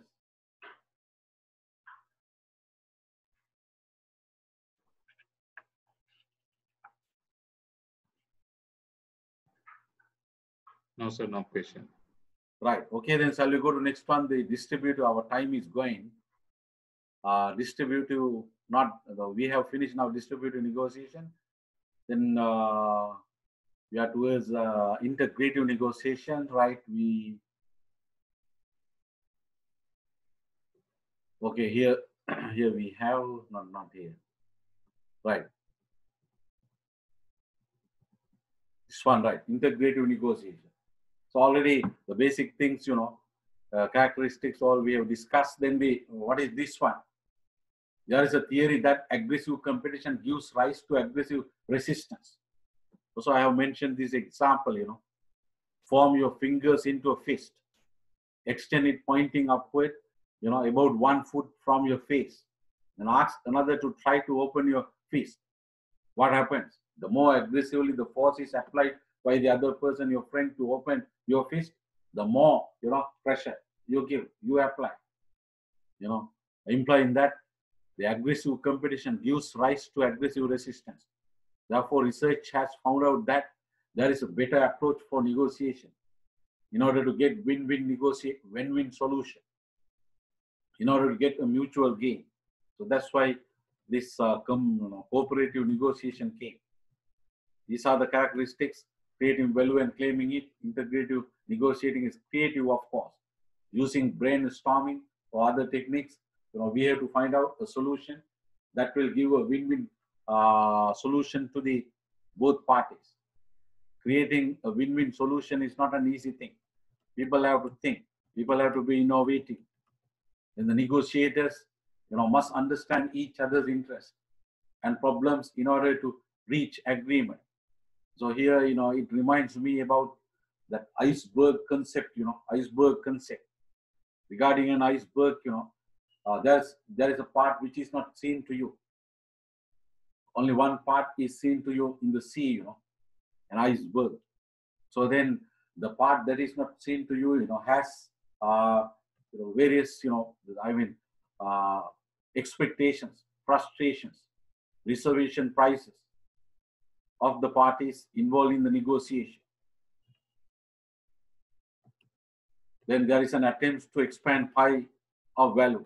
Okay, then some recommendations to use the language appropriately because here, you know, we consider relationships. We want to have relationship with the other party. We want to maintain it until we do the business.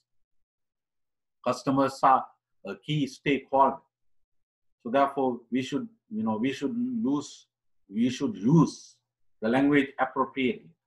One recommendation here is, you know, uh, thanks to Professor Fisher and Ury, you know, be soft on people and hard on issues. Be soft on the people and hard on the issues. Regarding the subject matters of the negotiation, terms and conditions, you should be hard. But when we talk to people, when we address to people, when we disturb the people, you know, in the uh, in, in the negotiation, we have to respect them. We have to value them. So therefore, be soft on people.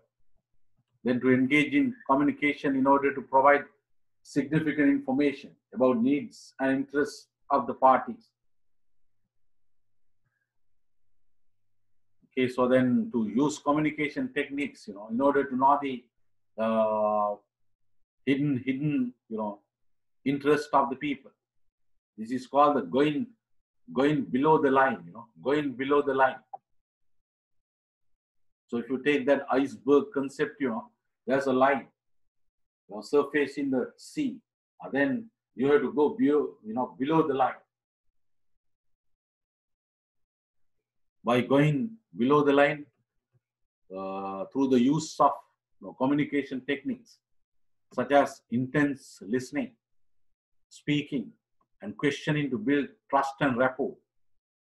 Even you can pronounce this rapport. Uh, original pronouncing is rapport. The letter T is silent. Okay, then, uh, then you know, so, right to reveal additional capabilities or resources, if any, because we want to create value, expand the pie the fixed pie. Then to use what parties have learned about each other to find creative options with potential for mutual gain. A technique like brainstorming, technique like thinking out of the box. I wish I could have, you know, time to give an example under brainstorming and also under thinking out of the box. I have several examples, but because this is online teaching and also time limitation, maybe you must have gone through some examples of brainstorming and thinking out of the box during other courses. Then to bargain in teams also because normally we believe that uh, two heads are two heads, you know, which are right, uh, are better than one head. Okay, then read the following vignette. Is there a win-win solution? Chairman of the interview board. Okay, now let us discuss about your salary. How much do you expect? Then the candidate, my current salary as the HR manager is 2 lakhs per month. So I expect at least uh, 2 lakhs and 40,000. The chairman, don't you think it is too much? What about 10% increase to your current salary? We can offer 2 lakhs and 20,000. Then the candidate responses like this. I don't think it is fair because I have to come to your organization by driving for a higher number of kilometers about 10 additional kilometers from my current workplace. My move, my move to a new organization should have a salary increment. Otherwise, no point of changing the current workplace, which is okay now to me. So therefore, remember, you know, current workplace is okay. So even as a bargaining strategy, so if you are the candidate, you should never tell, you know, in front, you know, at an examination to get, sorry, at, at an interview to get another job from another organization. Never tell that, you know, I'm dissatisfied with my current job. and my current employee is bad, very bad. They are doing very unethical things. Never tell like that. You know, then what, what will happen is the employer will be more powerful. This, uh, this new, new, new organization will be more powerful. You know, you will be less powerful at the interview. That is not good for you, you know, for successful negotiating of a matter like this. Then chairman, okay, let us be fair and realistic. Working in our organization is more prestigious than working in your current organization because of the reason that our company is one of the best companies, one of the best companies in the industry and has won many awards for excellence. Another point is that working with us will give you more exposure to new areas of HR, such as HR scorecard and measurement, dealing with trade unions and working with peers who are excellent professionals in their respective fields. You know, so these are the additional, you know, these are the advantages. So these are missing from the uh, current organization where the candidate is working. So therefore, the chairman is pointing pointing out there. You know, that means increasing the bargaining power of chairman. Also, we expect to expand the HR department in future and create a you know, post-call HR director, you know, revealing expectations because this is integrative bargaining, cooperative bargaining. Therefore, each party has to reveal, you know, uh, or her uh, hidden interest, expectations, so that you know both parties can have a better solution. So, so then HR call HR direct, and if you prove that you can excel here, it is likely that you can reach that post. Considering all, I offer you two lakhs and twenty thousand. So normally chairman is aware of the fact that nowadays many professionals are, you know, professionals are loyal to the professions, their professions, rather than loyal to the organizations. Organizations. Okay, then candidate, how long will it take for me to reach the post of HR director if I perform excellent? Then chairman, I can't say exactly when, but I can say that your continuous excellent performance will lead to achieve your career goal within four or five years. Okay. You know, that was the response of the candidate. Okay, I accept your offer. An example of integrative bargaining. Both, uh, you know, got a win-win solution. Right. Okay, then uh, this uh, learning unit, another subtopic dealing with difficult negotiation situations. So negative behaviors and tactics, you know, there are. So, so I have given a list of, partial list of, so thanks to Gasco and Robinson. So, you know, I, I, I mentioned their partial list of examples which show negative behaviors and tactics, which usually you know, come across in negotiations. Yelling, bullying, physical intimidation, ultimatums, verbal abuse, silence, and all these things. Okay, so ultimatums, what is ultimatums? You know, include statements implying the threats of serious penalties to the other party if the terms offers are not expected. Assume, you know, I am the top manager in an organization. You know, you are the trade union leader. Now, you know, you, you ask for a salary increase for uh, trade union members. Then I am the chief executive or the, I am the powerful person and then I will tell that, you know, uh, we will we will increase, okay, we will increase salaries, but only by 5%. If you don't agree, then I will have to stop doing business, then I will have to close this factory, then I will have to take this factory to India, where you know I can get the work done through employees by paying lesser salaries, even by 50,000, by 50% lesser salary, something like an example of ultimatum, ultimatum, threatening, you know. Right, then effects, of course, you know, if you face, you know, these things, assume you are the negotiator. So if you face these things, definitely these things will affect you. and whether you are going, you know, whether you are going to be successful in negotiation or not. These things will affect. Right. Definitely, you do not feel comfortable. That's the, you know, you, you do not feel comfortable. You may feel angry, hurt, frustrated, confused, trembling, worried. Yes. You may use avoidance style or accommodative, accommodative style. What is avoiding style? That means you give up negotiating. You go away. Accommodate, accommodative style. That means you give the winning to the other party. And then you become yourself a loser by letting the other party become a winner. So then, so then, yes. Then how do you respond? Yes. Style, you know, strategic uh, responses according to Gasco and Robinson. You can see stimulus.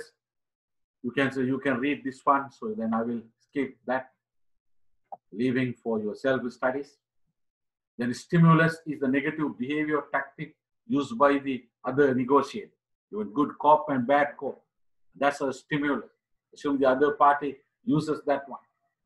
That's a stimulus. Okay, then you are, you know, the response, then you have to respond, which naturally happens within you. Is anger or fear or some other feeling. Right. Then how to respond? Mainly there are two, you know, there are three, three suggestions given by Gasco and Robinson. The third one is the recommended one. Uh, I mean, more the most appropriate one. Ignore the behavior. But if you ignore them, this may give a message to the other party that you are weak or this may work well. So that means uh, the other party, you know, the other party is using a negative behavior.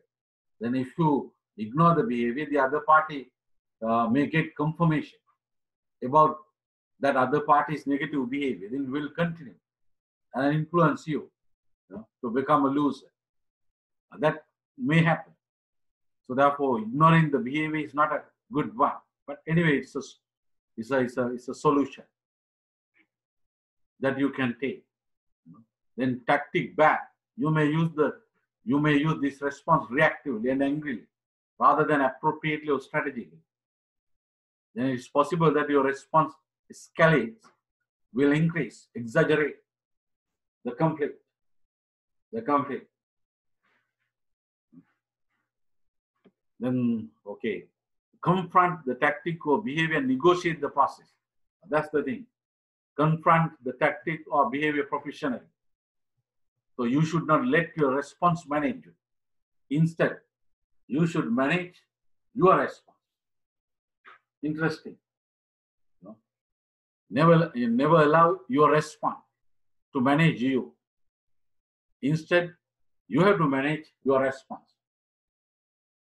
This is applicable to use, you know, normal to our normal life force. Look at this one. The stimulus, negative behavior from the other party. Assume, you know, after working, you went home. Then your spouse, you know, tends to, I mean, your spouse starts engaging in a negative behavior. That's stimulus. You know, you came after working, then you are tired. Maybe you are suffering from fatigue. That is more than being tired normally. Then your response automatically is anger. You know, anger. Uh, aggressive, you know, aggressive response comes naturally within your body. Within your body. Then the solution is, of course, the break. Sit on your reaction inside. Take one minute or two. Think and decide what to do rationally. Then you have to use, you know, you have to use your brain, not emotion. Emotion already got within you, created. It came.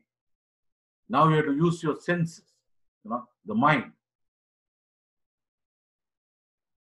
Right. So also you must have emotional intelligence. Because if you have right emotional intelligence, then you can realize that anger came, fear came, shame came. So likewise.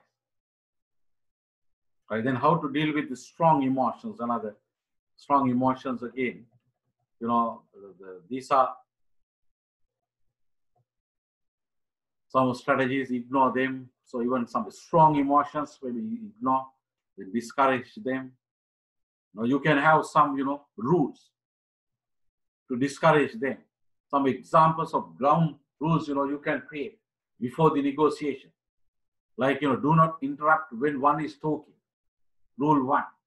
The rule two, use of respectful language is a must. Then rule three, there should be an equal opportunity to speak. Then rule four, respect the other person's self-respect, etc. Okay, so then that, you know, then the encourage and manage them. So this is called validating emotional expression sometimes. Sometimes you let the person burst. Let the person, you know, uh, be aggressive. So that means you are engaging in validating the emotions of the other party. So these three things, you know, in case of strong emotions, can be used as a strategies to manage. Right. Okay. Then uh, next unit of learning ethics in negotiation. I, think, uh, I can remember I delivered a special lecture, separate lecture on ethics and HRM. But anyway, you know, uh, here the one theory, you know, that is called the uh, Magnificent Seven. You know, Magnificent Seven by Professor Hodgson in 1992. So, you know, there are magnificence that means general moral principles. Seven moral principles you know, have been given by this uh, author Hodgson for managers. So then based on these seven in simple way, so I, uh, I wrote, you know, seven ethics. One is uh, first one, respect the other negotiate. Don't degrade. The second one, the other negotiate has the right to continue in negotiation or stop and go away. Negotiation is not a legal requirement. It's not a compulsory requirement. If the other party you know, wants to give up, then the other party has that right. So remember that. Even you also have the right to stop anytime, you know, the negotiation, further negotiating, and then give up. And don't tell lies, of course. Because of the honesty, then honor the agreement and implement it as agreed. Tolerate diversity and accept differences in negotiators. Maybe uh, certain sentences, you know, there, there may be a negotiator who cannot understand. You know, people are different. Then you have to tolerate. Then avoid doing evil, very bad things. Then concern with the well-being of the other negotiator, especially in integrative negotiation. Okay, then honesty in negotiating is a very important thing.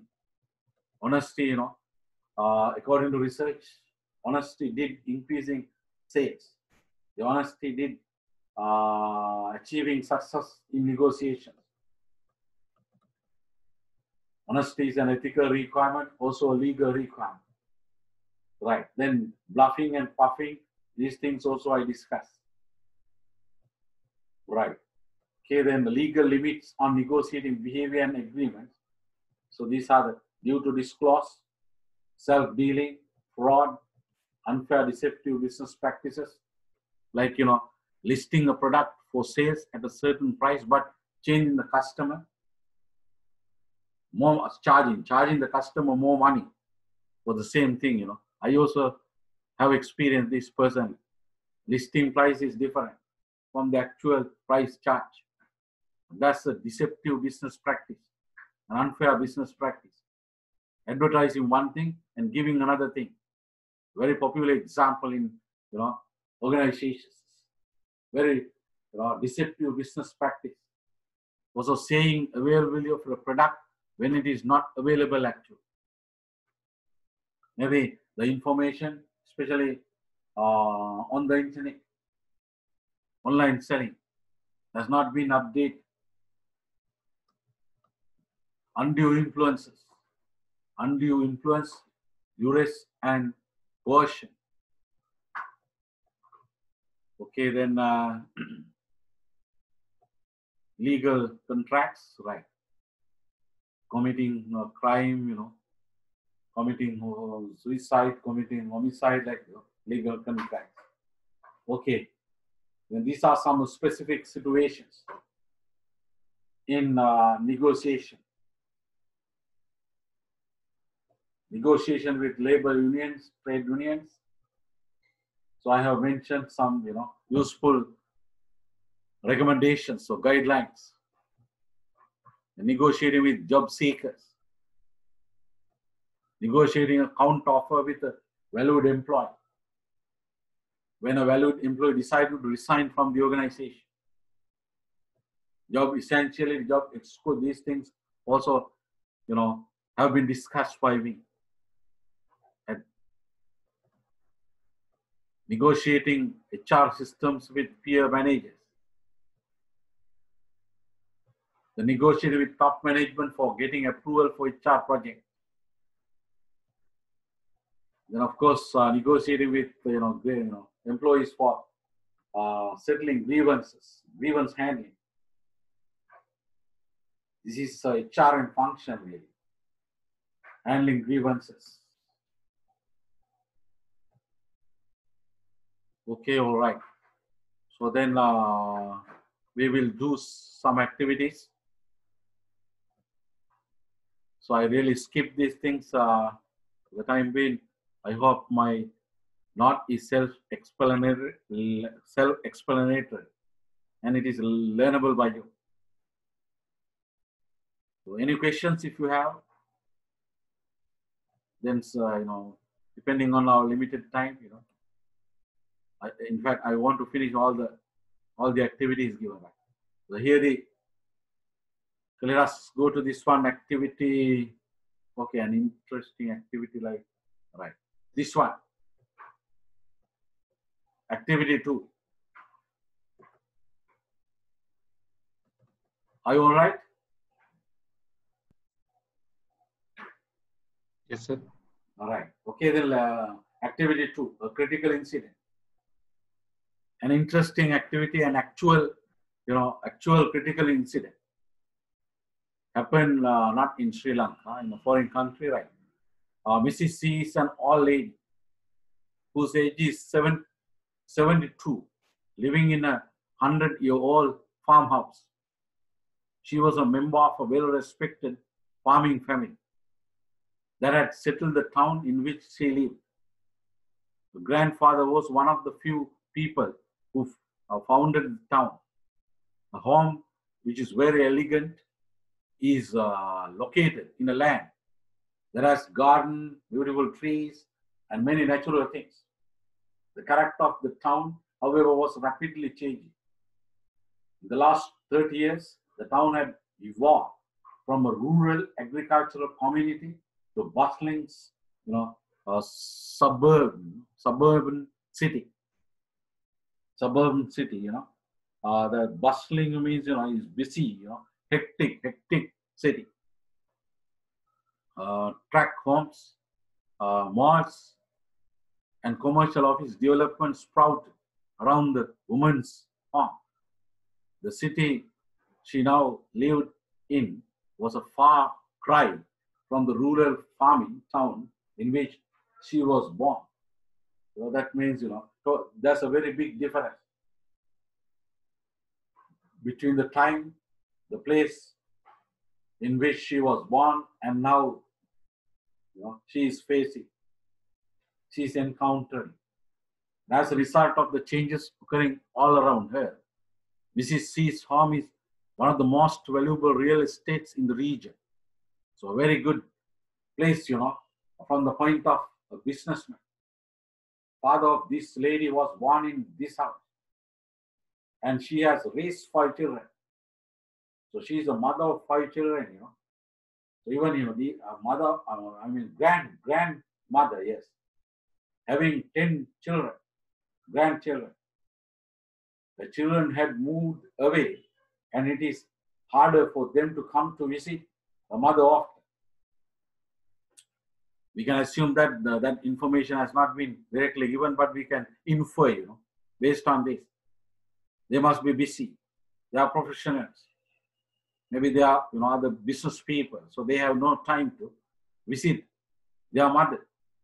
Harder for them. That means almost not.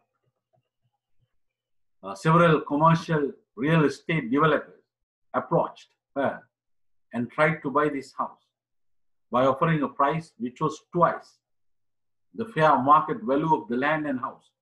You know, several, you know, distributed, sorry, uh, several, several negotiators came, several negotiators came and then engaged in bargaining with her to buy, you know, to, to, to purchase, to buy the house and the land, the home and the land, by even giving double price, twice the fair market. Some were masters of competitive negotiation, you know. Masters, that means they are real, they are experts of competitive negotiation, competitive bargaining, distributive bargaining alternatively. That means they are masters of you know, uh, getting uh, win-lose situation, win-lose solutions. She politely but firmly declined each offer. Then my question is, can you explain why did she decline all the offers? Assume that you are the next negotiator. How do you negotiate with her to get the land and home? Maybe let us have a short-term discussion.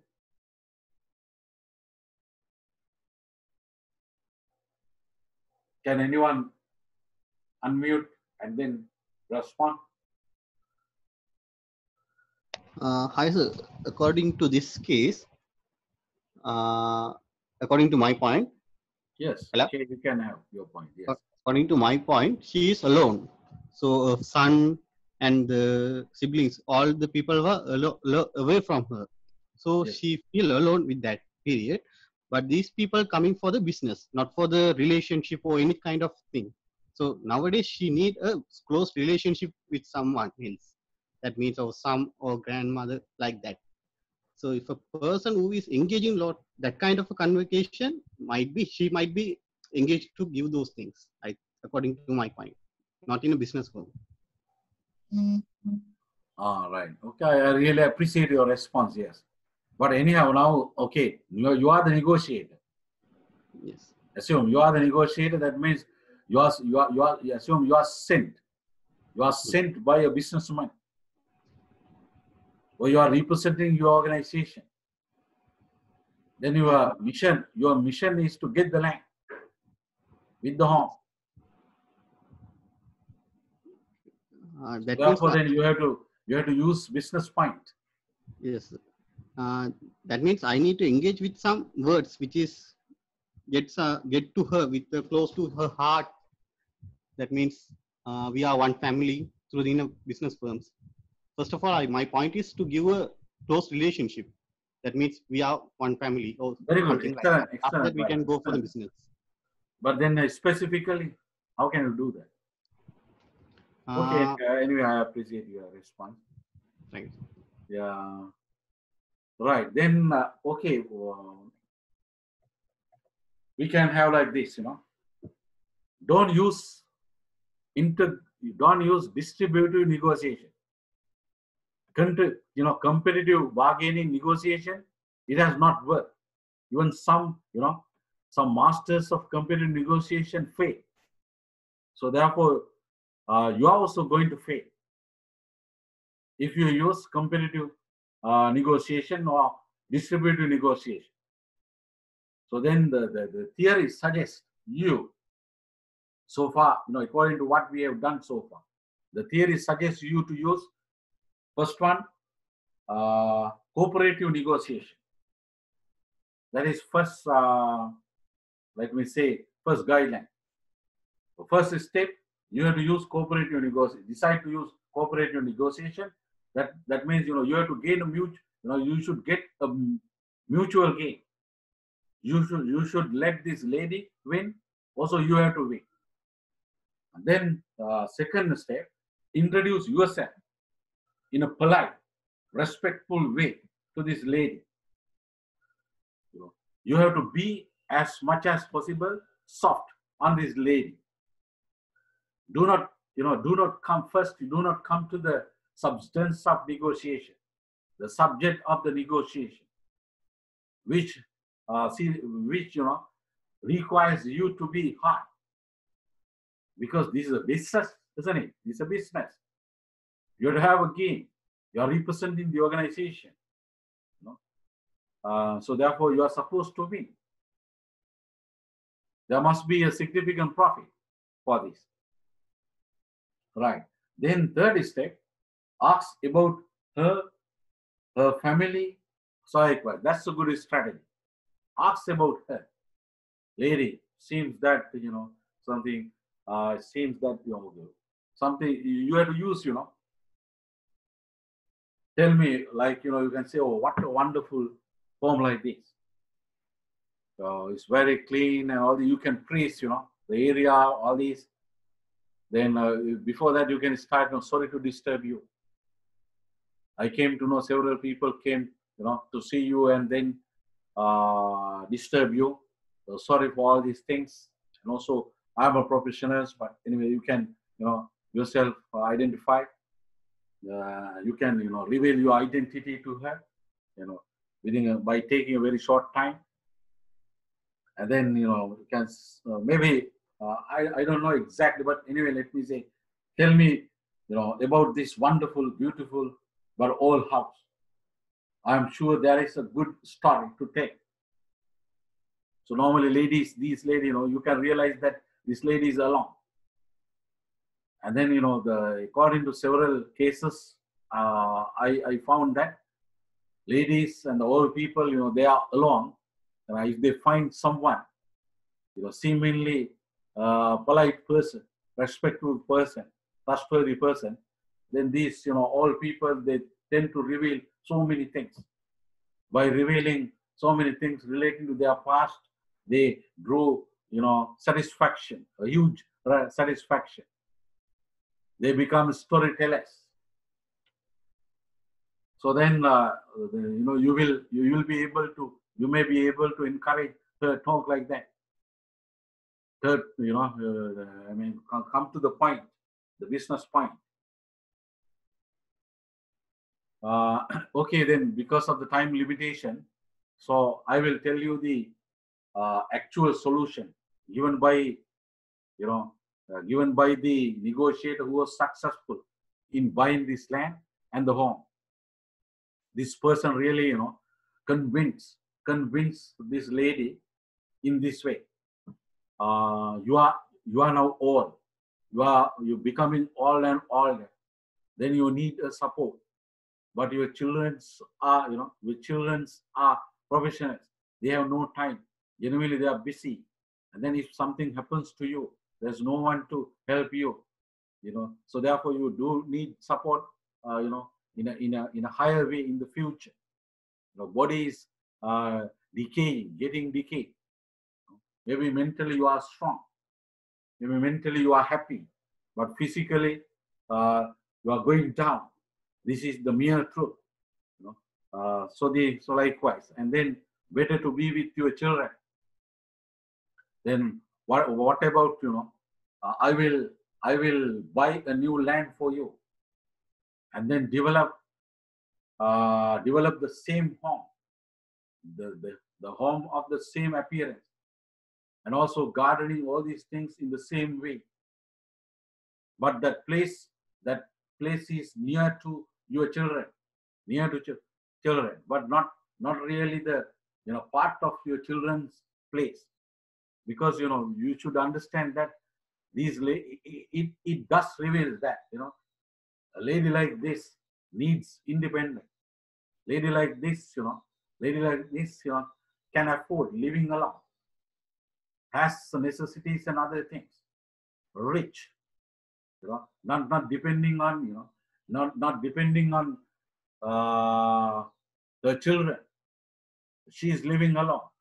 This type of lady, you know, does expect so-called the independence.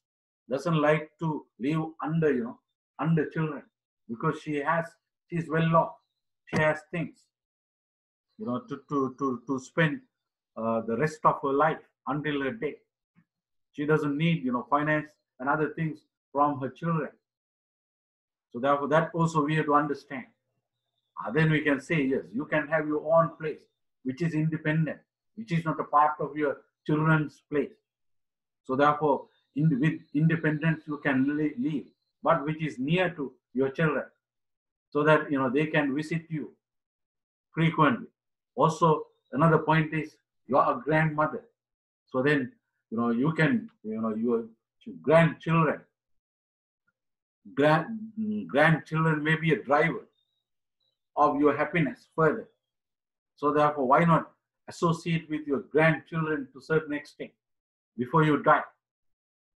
So something like another another you know creating another need within her, so that you know she, she will change her stand, and then she will decide she will decide to sell this one.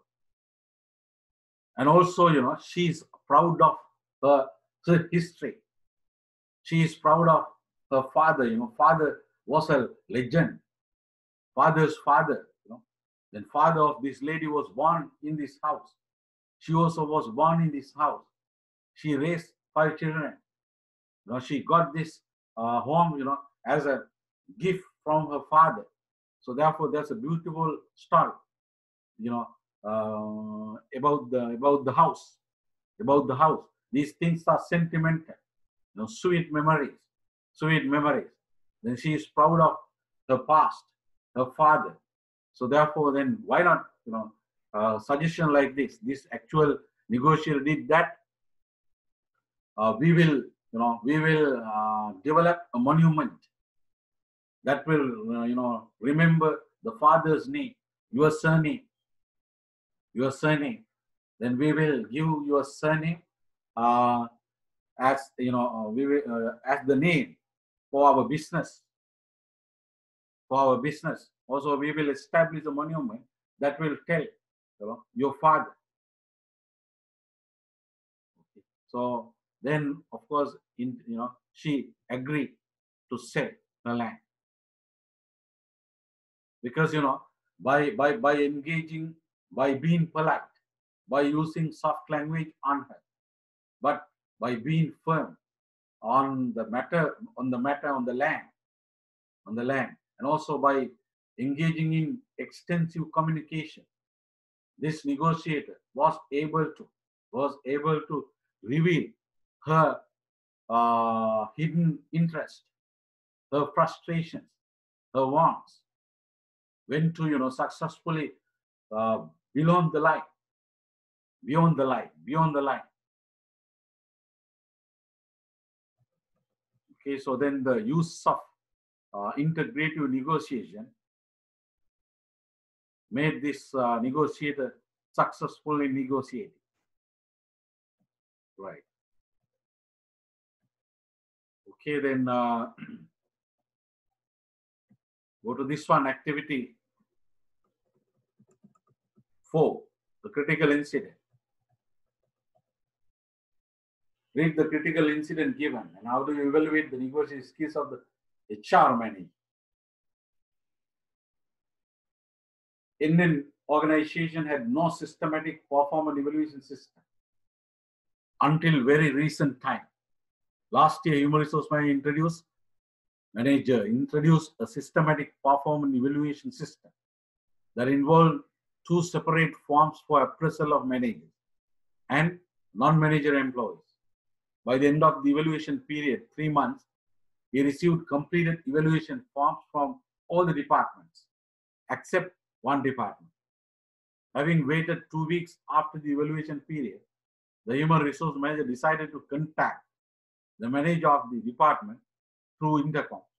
When asked about completed performance evaluation form, the manager replies thus I am very busy with important duties.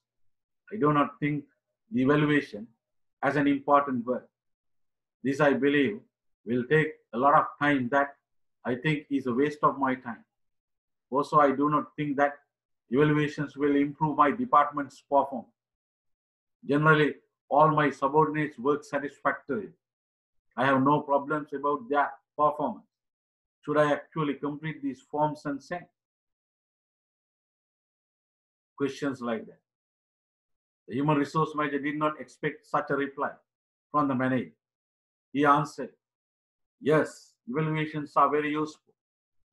All other department managers have already sent the completed forms to me except you. Please send them within this week. The manager replied with a little hesitation, I will try, but I am not sure. Okay, then how do you evaluate negotiation skills of the human resource manager based on what you have learned so far?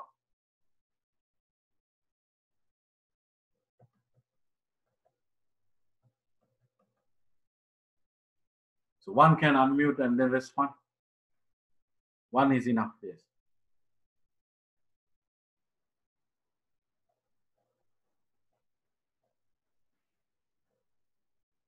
Taking time, so it means uh, maybe you are reluctant to respond without having an acceptable response. I assume that. Okay. Uh, negotiation skills of the human resource manager are at not good level, not at, at, at expected level. You know, we initially learned that, you know, human resource manager should be a, a negotiation maverick. The human resource manager has basically three, uh, three roles, three roles. As an advocate, as a builder, and as a prac- practitioner. The human resource manager should work. With, the, with this example, uh, I don't think that the human resource manager is excellent in performing those expected roles. Expected roles. This one, you know, the okay, assume this is the actual this manager is genuine. Assume this manager is genuine. So assume what this manager said is right. And then what is wrong? Where where is the wrongness? Wrongness is with the system. Then it, you know, uh, one reason is performance evaluation scheme is working isolatedly. It is in isolation. It is not linked with other HR systems like a system of giving promotion, system of giving you know financial rewards, incentives, salary increments, merit increments, normal increments. Also, system with uh, with the training, identifying training needs, training. If performance appraisal scheme is not linked with such HR functions, of course, the benefits of the appraise, appraiser are not that much, are not that much. Then the managers like these, like this, they tend to, you know, suspect the utility of performance evaluation. That's why at several times I emphasize this HR bundle concept. HR bundle concept. Okay, so also uh, assume uh, things are not like that. Things are not like that. This HR scheme you know, is linked with some other HR functions, HR, HR schemes, assume. So that means uh, the, the scheme has been properly introduced with the right background. Uh, then, then can we, you know, how, how do you criticize this manager? I am very busy with important duties. One thing, you know, remember, if you are serious about performance evaluation, that has a higher level of utility. So therefore, performance evaluation is indeed a very important duty because it directly leads to increased productivity. I don't I don't like to talk about you know various things in Sri Lanka because this is online uh, teaching. Uh, then uh, there will be an uploading uh, of the video. So therefore, I, I reserve my some some certain things. Right. Anyway, so then the so therefore it will lead to you know productivity. So therefore, performance evaluation you know, performance evaluation ideally is a very important duty of a manager. So assume uh, perform okay. Otherwise, at least, at least, at least for performance evaluation should be an important duty, if not a very important duty. because of, of the greater utility of performance evaluation. If it is done properly, professionally, systematically, we can get many advantages of performance evaluation. Also, like you know, this one, you know, generally, generally all my subordinates work satisfactorily.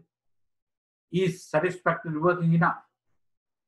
You know, under strategic HRing, we want to create competitive advantage through HR. Even under strategic management, we want to create competitive advantage and enhance competitive advantage, which is a sustainable competitive advantage. So then satisfactory working is not sufficient at all. We don't need excellent working, excellent job performance, excellent work performance. Otherwise, how can we be, you know, better? How can we be the best? I have no problems about their performance.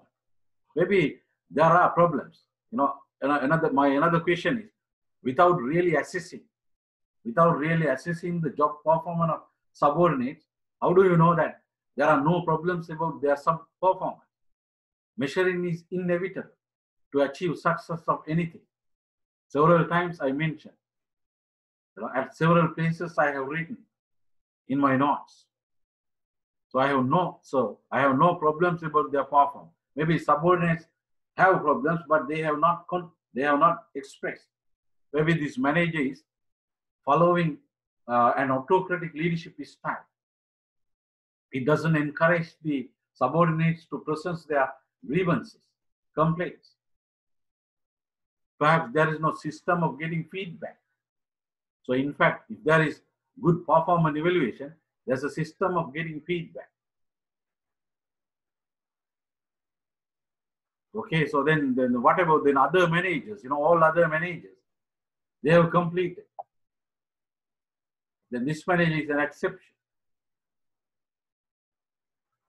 Right. Anyway, uh, but talking like this, you know, all other managers have already send the completed form to me except you.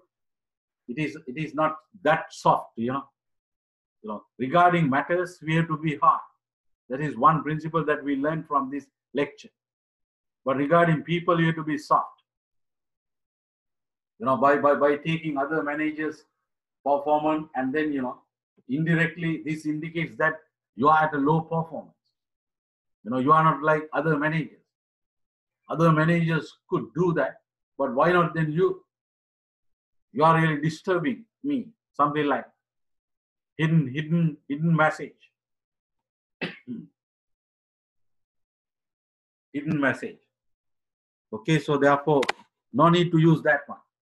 You can talk about benefits of performance evaluation to a great extent. Uh, I mean, within by using a short time, or maybe you can have a separate you know time which is convenient to this manager. Or you can go to that manager's place rather than being at your if you are the manager at your office. Go to that manager's office. That also shows the importance of the matter. Also some respect to the manager. Usually these managers are line managers. They are busy with line works. That means producing the product uh, and then delivering the product to the customers.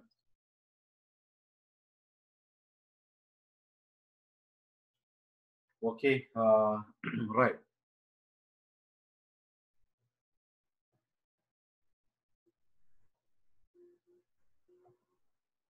This one, another one.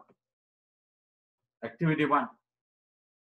Miss Dilhan She's an executive assistant in a consulting firm owned by you. She has been working you for you since 2009. In fact, she's hardworking and her performance is excellent.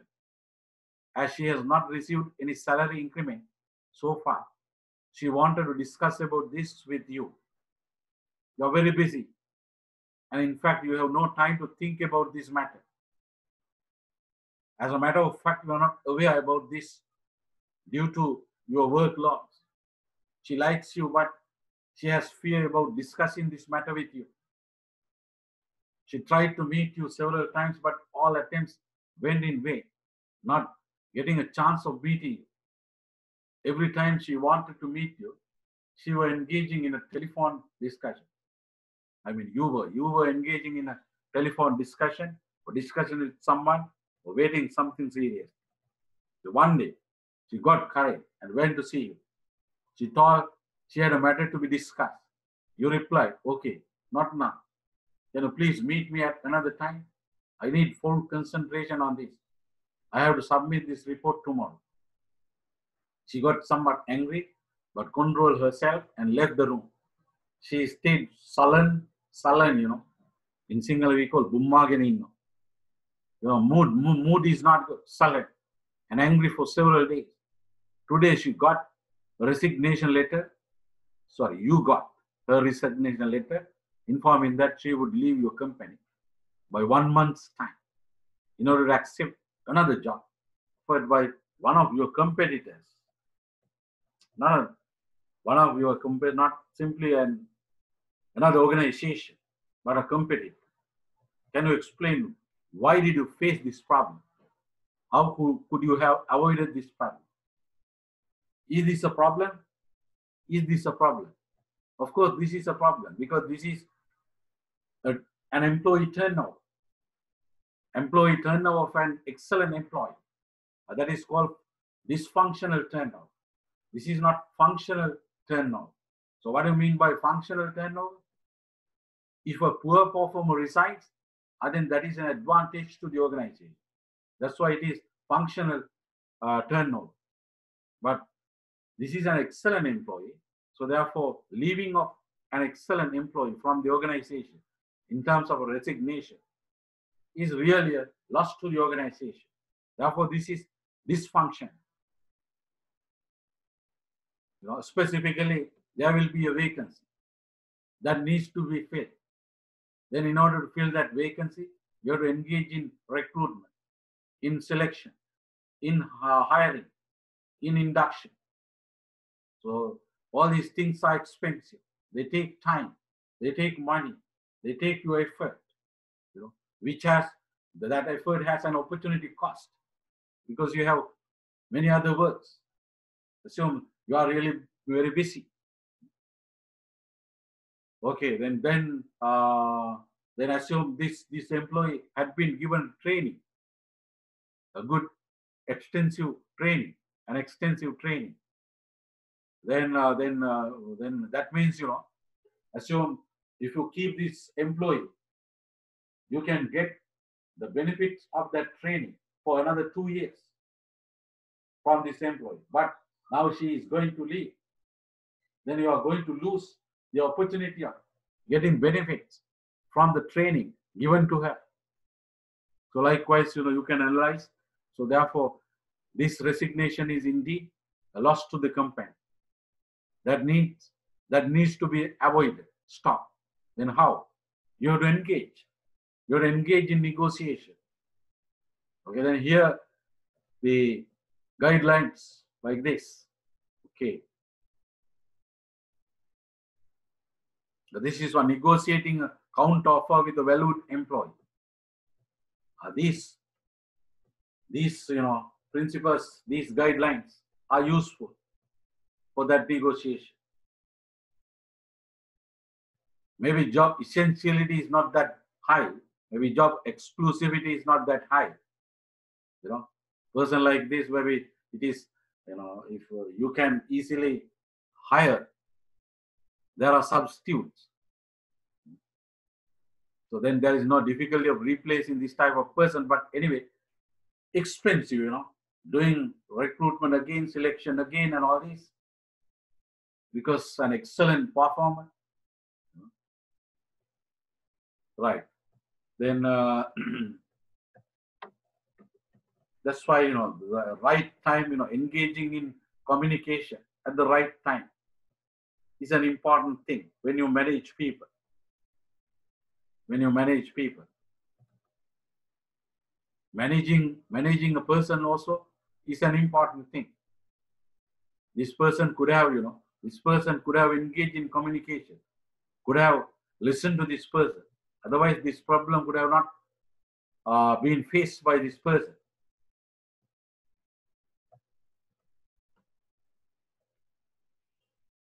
And then, uh, then, then now the you know the she, her, her value has become more. Then to keep her, you have to uh, give something more.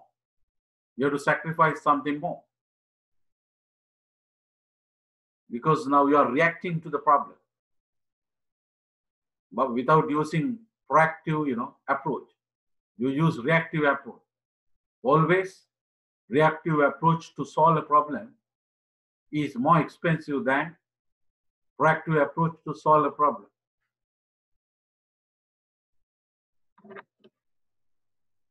Okay, then, uh, any questions?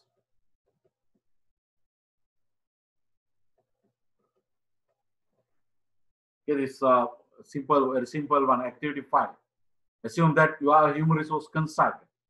You have to negotiate with a potential client, a large company for a work that involves preparing job description and job specification for all the jobs available in the company. What is your BATNA in this case? Anyone? Can anyone respond? Your BATNA, you know, you have to negotiate with a potential client, a large company, for a work that involves preparing job description and specification for all the jobs available in the in the company. Preparing JD and JS is an important thing. For every job, there must be JD, there must be JS. Now, for to see good human resource management, this is a must. This is a must. Preparing JD and JS for all the jobs. So that means in this organization they are not available. So therefore they have understood the importance of having them, and then they have decided to do it. And then one option is to give this work to a uh, to a consulting firm, to a consultant. Yes. So that you are a human resource consultant, you have to negotiate with right. Okay, large company for a work. So assume you are a human resource consultant, yes. And then what is your BATNA? Your BATNA is, you know, if you do yourself, then how much will it be? How much will it be? And then the, you know, the fee for the client, potential client.